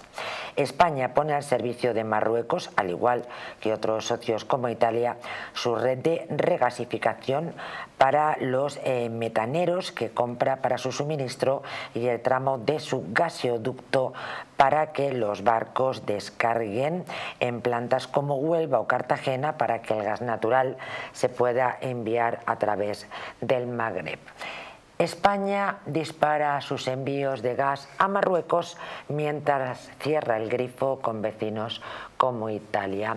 Lo he repetido para que no quede la más mínima duda. ¿Alguna relación podríamos encontrar o soy muy mal pensada? Bueno, a ver, yo en este caso quiero ser quiero ser y soy bien pensado porque es un tema que, la verdad que desde todo el inicio del conflicto con Rusia pues me ha dado el tema por, investigarlo bastante. Pensemos que España es el mayor, eh, el mayor productor de regasificación de toda Europa. Es decir, que ahora mismo estamos teniendo unas infraestructuras extraordinarias sin utilizar. Entonces, recordemos también, por otro lado, que la gran parte del gas que viene a España no es un gas que venga de Libia, como, como le ocurre a Italia, es un gas que viene de un país enemigo como es Argelia, de Marruecos, por lo tanto Marruecos no se puede abastecer y recordemos por lo tanto que la mayor parte del gas que viene a España es gas americano. ¿Y quién es el principal aliado en el Magreb de los americanos? Marruecos, por lo tanto es una cuestión de dinero, es una cuestión geoestratégica y es una cuestión entre tres puntos, España, Estados Unidos y Marruecos. Y por supuesto es una manera de que empresas españolas, que son las más importantes de Europa en temas de gas, ganen dinero. Bueno, es una explicación y alguno diría yo me río de Janeiro eh, porque lo que parece que está más que claro es que desde España se está mandando mucho dinero al reino de Marruecos para que Mohamed VI viva como un rajá mientras que nosotros nos ocupamos verdad de mantener y dar de comer a sus súbditos. En fin, señores, vamos a hacer un alto en el camino, eh, ni se muevan, vamos a centrarnos en Venezuela. Eh, no podemos pasar por alto ni un solo día sin compartir con todos ustedes el pulso de ese país bajo el yugo de un dictador y de un fraude electoral. Pero antes de irnos, quiero dar un mensaje a todas aquellas personas que sufran de artritis, artrosis en las manos. Eh, existen muchos tratamientos, yo creo que ustedes lo saben, sobre todo si, sufren de esta patología tan inhabilitante.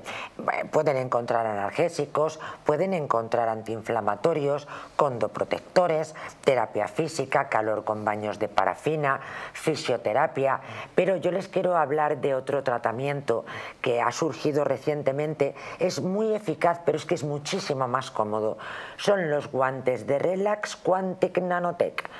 En sesiones de 20 minutos dan masaje, vibración y calor, reduciendo el dolor y la incapacidad funcional, beneficios demostrados por un estudio clínico multicéntrico.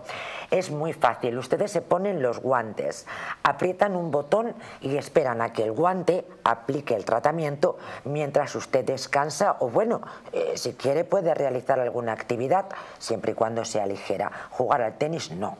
Se venden además con unos consumibles que están impregnados de sustancias naturales antiinflamatorias que aumentan y mucho ¿eh? su beneficio durante la sesión. Los guantes de Relax Quantic Nanotech de tecnología patentada van a cambiar la vida de millones de personas que sufren esta patología tan incapacitante. Llamen, pidan información en el 900 730 122. 900 730 122 y consíguelos además con un tensiómetro gratis. Regresamos enseguida. Toda la información sobre Venezuela nos está esperando.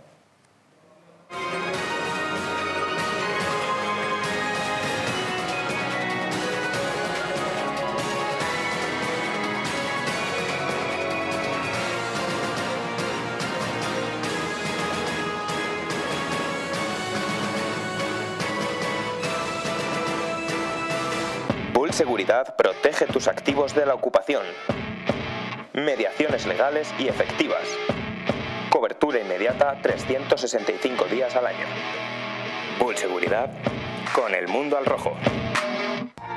Una noche larga de fiesta con los amigos. Has terminado cansado y con una copa de más. Ahora en exclusiva en Naturhaus, Staff Detox el remedio que acaba con esas resacas eternas del día siguiente. Acércate a tu tienda más cercana o visita naturhaus.es. En Plus Ultra Líneas Aéreas sabemos que las cosas más importantes de la vida no se ven, se sienten. Son esos lazos que nos atan fuerte a nuestra gente, a nuestros sueños, aunque estemos a miles de kilómetros. No importa de dónde vengas o a dónde vayas. En Plus Ultra seguiremos volando contigo para que nunca te falte lo más importante, los lazos que nos unen. Plus Ultra Líneas Aéreas.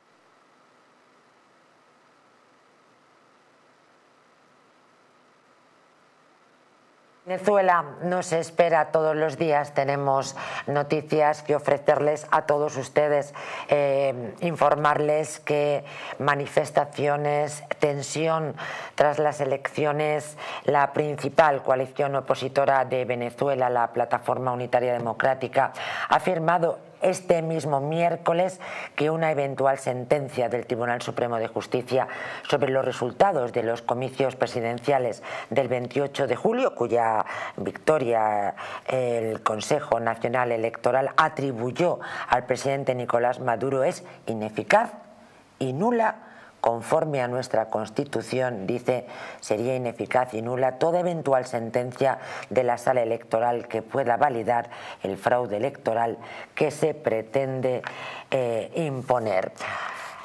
La luz llega al programa. Azabache, muy buenas noches. Buenas noches, mis guerreros de luz, amantes de la libertad. Muchas gracias por esta oportunidad y un abrazo de corazón a corazón. Como siempre, importante tu participación en el programa hoy para hablar de una noticia que nos llegaba a través de ABC, el SEBIN, la maquinaria del terror del chavismo para aplastar a la disidencia. Explícanos, cuéntanos, eh, congela eh, la sangre escuchar este titular, Azabache. Así es, el, el significa Servicio Bolivariano de Inteligencia Nacional y es la principal agencia de inteligencia de Venezuela. Se encarga de la seguridad interna del Estado y conocida por sus métodos represivos bajo el gobierno chavista, incluyendo la vigilancia, detención y tortura de opositores políticos. El régimen utiliza tanto el SEBIN como la Dirección General de Contrainteligencia Militar llamada DGSIM para reprimir a la disidencia y ha documentado testimonios de, escuchen esto, que eso es, importantísimo, palizas, descargas eléctricas en genitales, asfixia con agua, sustancias tóxicas que les dan a los presos, cortes y mutilaciones, violación con objetos y alimentación forzada con heces fecales, vómito, entre otros delitos infrahumanos y, terribles. ¿no?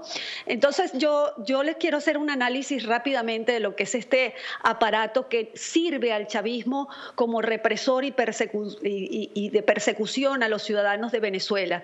Violaciones de los derechos humanos individuales. El SEBIN opera sin respeto ni a la vida, ni a la libertad, ni a la propiedad privada Tortura como herramienta de control.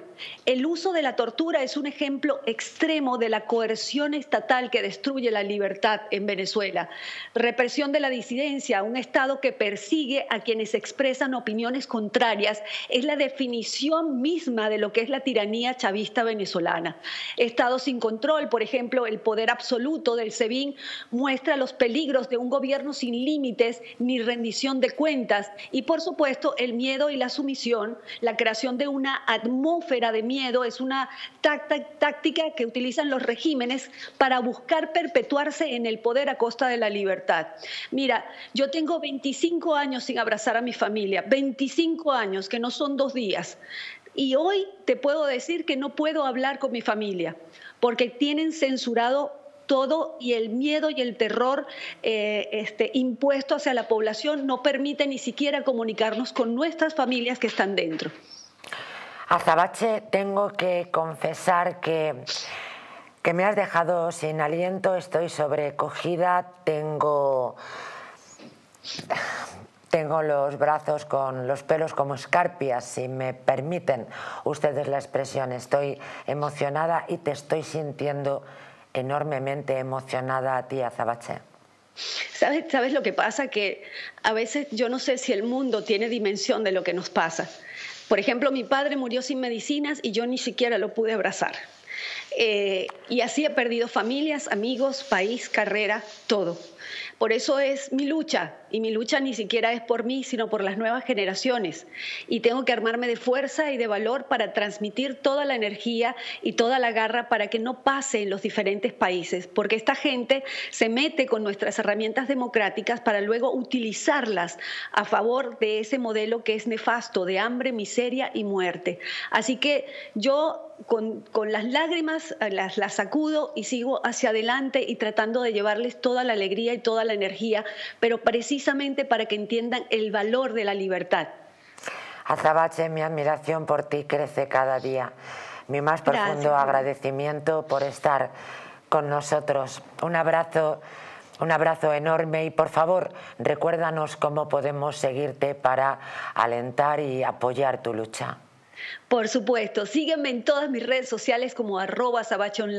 Recuerden que la libertad es todo, sin libertad no hay absolutamente nada. Y ahí va mi arenga libertaria. ¡Viva la libertad, carajo! ¡Olé! Eres tan grande. Azabache, un abrazo, un abrazo enorme, entrañable. Gracias, impactante, emocionante tu participación en el mundo al rojo. Siempre lo es, pero hoy de manera muy especial. Muchísimas gracias.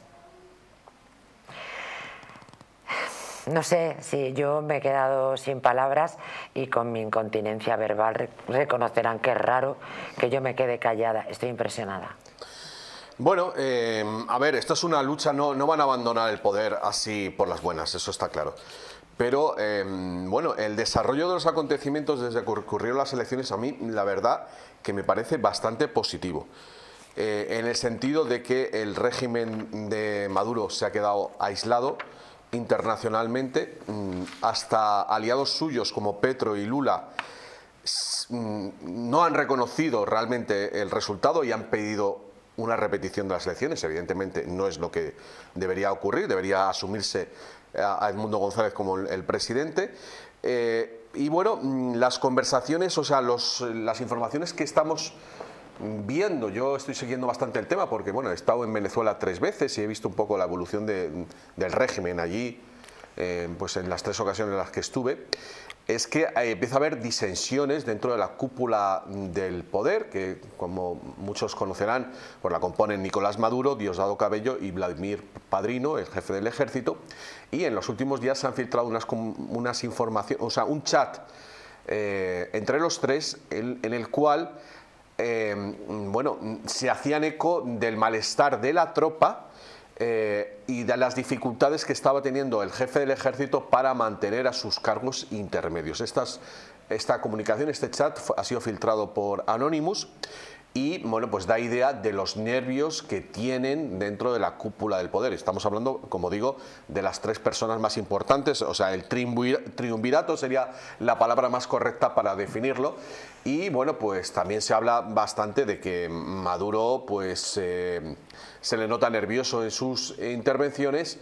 Y bueno, pues esta es una batalla, como ha dicho María Colina Machado, que se puede extender a lo largo de semanas y de meses y bueno, dependerá un poco de la presión internacional el que puedan continuar o no. Pero desde luego el régimen, o sea, la evidencia, o sea, el, no haber mostrado las actas de las elecciones hace que ese gobierno sea ilegítimo y a partir de ahí todo lo que pueda hacer pues es, una persona que pues no ha seguido el, juego democrático que se dice que cuando uno pierde tiene que abandonar el poder y si se queda en el poder cuando ha perdido las elecciones pues es un golpe de Estado. En realidad él ha hecho un autogolpe de Estado para permanecer en el poder. Bueno, pues yo decir que, Venezuela me duele, ¿no? porque al final de testimonios como el de Azabache no tenemos que olvidar que es que hay 8 millones de venezolanos que están fuera que cada uno tiene una realidad distinta en el ámbito personal y no es precisamente fácil. Recordemos que en Venezuela prácticamente la mitad de la gente que vive a día de hoy, porque siendo el país tan rico que es, se encuentra ahora mismo en riesgo de pobreza extrema, de no poder llegar a comer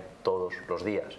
Y eso es lo que deja el régimen de Maduro. 90% de pobreza, eh, les doy este dato, leía eh, precisamente esta mañana y además tenía que ver con una ONG asturiana, un país con el 90% de pobres. ¿no? es, no es algo que realmente sea, sea deseable, pero ese 10% de no pobres en Venezuela son aquellos precisamente amigos del régimen y los mejores pagados al final y al cabo son el ejército. Por poner simplemente un, un ejemplo, Venezuela tiene 300.000 soldados, de los cuales hay 2.000 generales. 2.000 generales son más que todos los que hay en todos los países que conforman la OTAN en todo el mundo. Y de hecho, incluso voy más allá, que es lo más importante, y ahí es donde yo sigo sin terminar de creerme que vaya a haber una presión internacional creíble. En el año pasado, Venezuela exportaba 55.000 barriles de petróleo diarios. En el mes de febrero de este año van por los 144.000 y en el mes de julio van por los 155.000. Es decir, que a día de hoy, mientras el petróleo venezolano siga fluyendo, la presión internacional va a ser muy limitada. Qué triste, ¿no? Bueno, yo creo que es que los hechos desmontan tu apreciación. O sea, que el gobierno de Joe Biden, que es, hay que recordarlo, de izquierdas, se haya posicionado mm, directamente en contra del resultado de las elecciones, pues eh, aunque históricamente Estados Unidos estaba bueno eh, impugnando ese, régimen, pues hace que, mm, bueno, y, una parte del petróleo venezolano hasta hace un tiempo iba a Estados Unidos, hay que decirlo. Pero mm, aquí el problema yo creo que son los rusos y los chinos. Mientras Rusia y China sigan proporcionando a Venezuela eh, determinados recursos mm, básicos, alimenticios, pues podrán continuar, pero el, país es una ruina, el país pues tiene una moneda que no sirve, que no tiene mm, valor en el mercado y pues esa es la razón por la que tanta gente se tiene que ir del país, porque no, no tiene no hay economía, no hay economía productiva, salvo el petróleo y bueno, que solo tienen que colocar bueno, eh, los barriles y, y, sacar el petróleo, no, no, el negocio de Maduro es seguir estirando y, ganando tiempo. Escuchábamos al embajador de Uruguay recientemente ¿no? Eh, hacer este comentario, bueno, entre otras personalidades. Eh, decía Rafa Pal que, bueno, que, se podía manifestar una cierta esperanza, que de alguna manera algo había cambiado, ¿no? Pero bueno, Maduro está ahí ganando tiempo, ganando tiempo, ganando tiempo, estirando el tiempo, estirando Él lo que quiere es que la gente se olvide, que la opinión pública internacional se olvide del tema. Claro. Mira claro. tú. Claro, que la gente se aburra básicamente. Sí, al final la gente se tiende a aburrir de, estos temas, incluso ahora porque, bueno, porque Ucrania ha vuelto a ponerse de manifiesto por los hitos militares que ha tenido, pero recordemos que antes Ucrania era 20% del telediario y hasta hace dos días con el tema de Israel que estaba de por medio alcanzaba como mucho una noticia de 20 segundos, es decir, que al final los tiempos pues se acaban comiendo las noticias y la actualidad que tenemos en el día a día, elecciones americanas a la vuelta a la esquina, aquí en España nuestras peculiaridades de la vuelta de septiembre, es decir, y esto en todos los países, por lo tanto al final lo que está intentando es ganar tiempo. Y recordemos que al final no solamente es por el petróleo, es por el tema del narcotráfico, es por el tema de la corrupción, es por el tema del terrorismo, es por el tema de las relaciones con Cuba, es por el tema de las relaciones con China, es por el tema de Rusia. Es decir, no es solamente Maduro per se, es todo lo que rodea a Maduro, todo el negocio alrededor de Maduro y todos esos miles y miles y miles de millones, que no es que esos que Maduro, es que hay mucha gente alrededor de él que vive precisamente de él y sabe que en el momento en que se vaya, sabe que en el momento que caiga ese régimen, ellos se van con él. Y claro, obviamente, yo no quiero dejar de comprarme un piso en la Castellana por 10 millones de dólares porque me los dan en corrupción, en coimas o lo que sea. Pues mucha gente en ese régimen, por supuesto que no está dispuesto a ceder.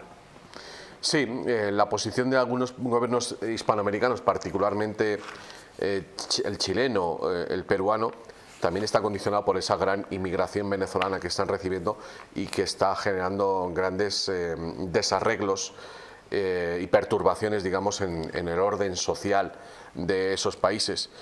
Y bueno, pues lo que vemos es que la OEA, la Organización de Estados Americanos, pues se ha partido por la mitad. Bueno, más que por la mitad, hay un, bastantes más países que no reconocen a Maduro de los que sí le reconocen. Y de hecho, bueno, pues eh, digamos que López Obrador es el único que se ha mantenido fiel. López Obrador, que prácticamente ha dejado de ser ya presidente de México.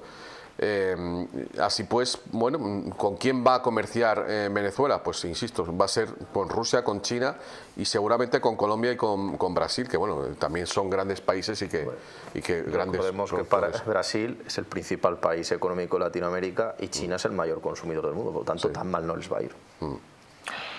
Maduro anuncia un Congreso Mundial contra el fascismo en Venezuela. Eh, este individuo, este, este Satanás ha anunciado la celebración en una fecha aún sin definir de un Congreso Mundial contra el fascismo, neofascismo y expresiones similares, con el objetivo de intercambiar estrategias para combatir esta ideología con la que el mandatario vincula a la oposición mayoritaria de su país. Es una noticia elegida eh, con toda la intención del mundo. ¿Les suena esto en España? Volvamos a Venezuela. Congreso contra la ultraderecha. Bueno, mm, es una palabra que ha dejado de tener significado. Porque para empezar, el fascismo fue, como mucha gente sabe, eh, un régimen de izquierdas, era socialista, o sea, que tiene más que ver con el suyo que con el de los que le denuncian, ¿no? Ya, pero es que hay personas enormemente ignorantes que piensan que el fascismo solo tiene que pero ver al final yo creo que lo que la gente identifica con el, fascismo es la falta de libertad. Entonces, bueno, pues, ¿qué decir? Si están deteniendo a gente por, por expresarse en la calle, por manifestar su discrepancia, por criticar al régimen en las redes sociales pues habría que decir a Maduro, fascismo eres tú. No sé, si hablamos de libertad, tú eres el fascista. Sí, vamos, al final es una, una, de estas disonancias ideológicas que al final ha comprado la, la izquierda y ha sabido venderlas muy bien. Es decir, Cualquiera que no piensa como ellos es un fascista. Aquí en España tenemos nuestra derivada, que es un facha. Es decir, aquí cada uno pues tiene su... Parece un discurso calcado, ¿eh? Su línea, Parece ¿no? un discurso calcado en España. si no piensas como ellos, esa, ellos no conciben que haya distintas visiones, que haya una libertad, que haya unos parámetros democráticos para expresarse. No, si estás en contra de ellos, eres un fascista, eres un retrógrado, vas en contra del progresismo. Porque de hecho, fíjate qué elegantes son con las palabras que ellos se han quedado con una palabra tan bonita como progresismo. Y se puede ser progresismo desde la izquierda, desde la derecha, desde el centro. Pero ellos son los progresistas, los otros son los conservadores y los fachas. Es decir, que al final es esa retórica de izquierdas que se ha sabido implementar en el mundo durante muchos años y que al final lleva a querer hacer el gobierno de Maduro un foro mundial contra el fascismo. Pero si al final el fascismo, como bien ha dicho mi compañero, al final estamos hablando que es la falta de libertad y al final políticas socialistas, es decir, que realmente los principales fascistas son ellos, son la dictadura, por ejemplo, en Nicaragua, lo que vemos en China, lo que vemos en Rusia, en Corea del Norte, es decir, que realmente son sus aliados los fascistas. Yo no sé de qué se queja tanto. Impactada desde luego todavía por el testimonio que nos ha dado hoy eh, Azabache. Recordaba cómo ella subrayaba y nos llamaba, llamaba la atención ¿no? a otros países para, para, para apoyar a Venezuela. Y de pronto he recordado que España multiplica por cinco la compra de petróleo a, la, a la Venezuela de Maduro en el último semestre. No soy economista, se me dan mal los datos, pero de pronto pienso, esto no es apoyar al régimen. Bueno, Desde mi desconocimiento. ¿eh? Teniendo en cuenta que prácticamente el ministro de Asuntos Exteriores de facto del régimen venezolano es el señor Rodríguez Zapatero y Rodríguez Zapatero es el mentor de Pedro Sánchez, pues... Con quien ha pasado las vacaciones en Lanzarote. Pues tiene bastante lógica. Pues, eh, no hace falta nada más que una llamada de, de, Zapatero a Pedro Sánchez de parte de Maduro y ese problema se resuelve. Mm, no sé, a ver yo creo que en esto no hay ninguna duda. No, hay una vía de comunicación. Iván Campuzano parece que la tiene. A ver, lo mismo ocurre con el gas ruso. Es decir, oye, España ha sido el mayor comprador de gas ruso durante la guerra y se le han puesto sanciones a Rusia. Al final, también tenemos que pensar, siendo muy egoístas, si te pones a pensar en la política real, es, oye, yo cuál era el problema que tenía España hace prácticamente un año. Precios de la gasolina que eran dos euros el litro y eso el español promedio no lo puede aguantar, no lo puede aguantar la empresa, no lo puede aguantar el campo. Yo como Estado necesito bajar el precio y necesito bajar la inflación por parte de la energía. ¿Quién me ofrece petróleo de calidad, barato y accesible a raudales? Venezuela. Entonces hay veces que tienes que hacer concesiones. Tienes que hacer concesiones desde el punto de vista de la realidad económica de tu país. Yo por mantener un discurso no puedo dejar que mi gente se muera de hambre tampoco. Lo cierto es que la gasolina ha bajado en las últimas semanas. No sé si tendrá algo que ver con esto.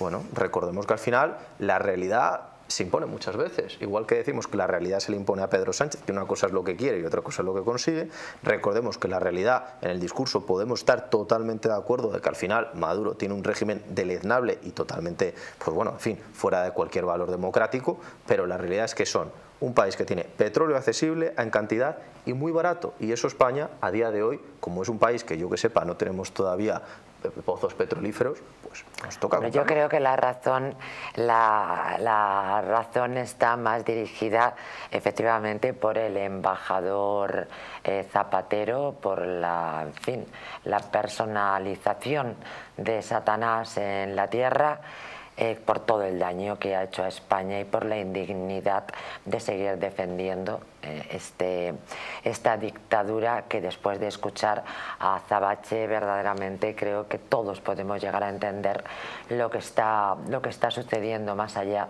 de un fraude electoral. Aquí también se ha hablado de pucherazo, pero todavía, y digo todavía, eh, no, no, asistimos a las atrocidades de las que nos ha hablado Azabache. Más parece efectivamente el, eh, el, telefonazo de Zapatero. ¿no? Mm.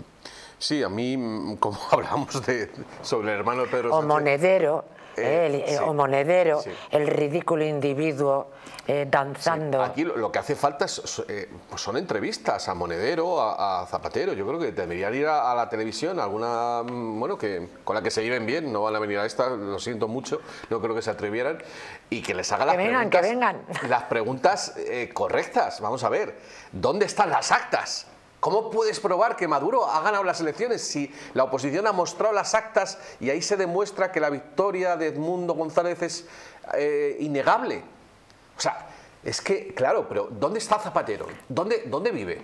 Porque es que yo de vez en cuando veo que viene por Madrid, pero no se sabe bien. Es un, es un ente que está en, el ciberespacio, ¿no? ¿no? se sabe muy bien dónde está.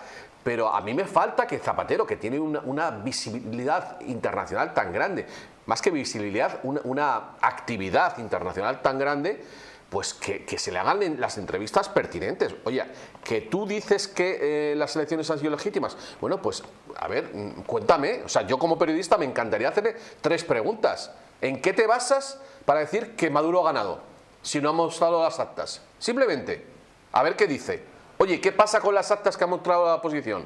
Pero claro, al igual que Monedero, huyen. Ahora de repente no vas a ver a Monedero en ningún sitio nadie le va a hacer una entrevista. Y si va a algún medio, irá al diario o al diario público, donde no le van a hacer las preguntas que de verdad debe hacer un periodista. Cuéntame, ¿cuáles son las pruebas de la victoria de Maduro si no ha mostrado las actas? es que al final el tema de las actas yo creo que es capital y es una cosa que el gobierno venezolano siempre se enorgullecía de ello, que tenía el sistema electoral más seguro del mundo. Es decir, que tenía unas actas, un sistema de comprobación de datos que era imposible de falsificar. Es decir, cuando vemos las actas esas que son como sábanas en Venezuela, está conteado de una manera muy precisa, está firmado además por el presidente de mesa y por las personas y además por la persona también de la administración central y luego tiene un código QR que la hace única. Si alguna persona de la oposición que subió a esa plataforma global abierta un acta fuera falsificada, el gobierno de Maduro ya lo hubiera dicho, pero es que no han podido desmentir ninguna de las actas, Mm. ninguna. ¿Cuánto tiempo ha pasado ya de las elecciones? Más de un mes. 28 días. Un mes. Dijo que un mes, ¿no? En un mes, como muy tarde, publicaría las actas. Bueno, Esto vamos es a como ver. se lo dice Sánchez. Claro, vamos a ver si, yo qué sé, si Monedero o Zapatero salen a, a- a la palestra, a la esfera pública y nos explican por qué todavía no ha publicado las actas. Y si no las publica, con más razón hacerle la pregunta.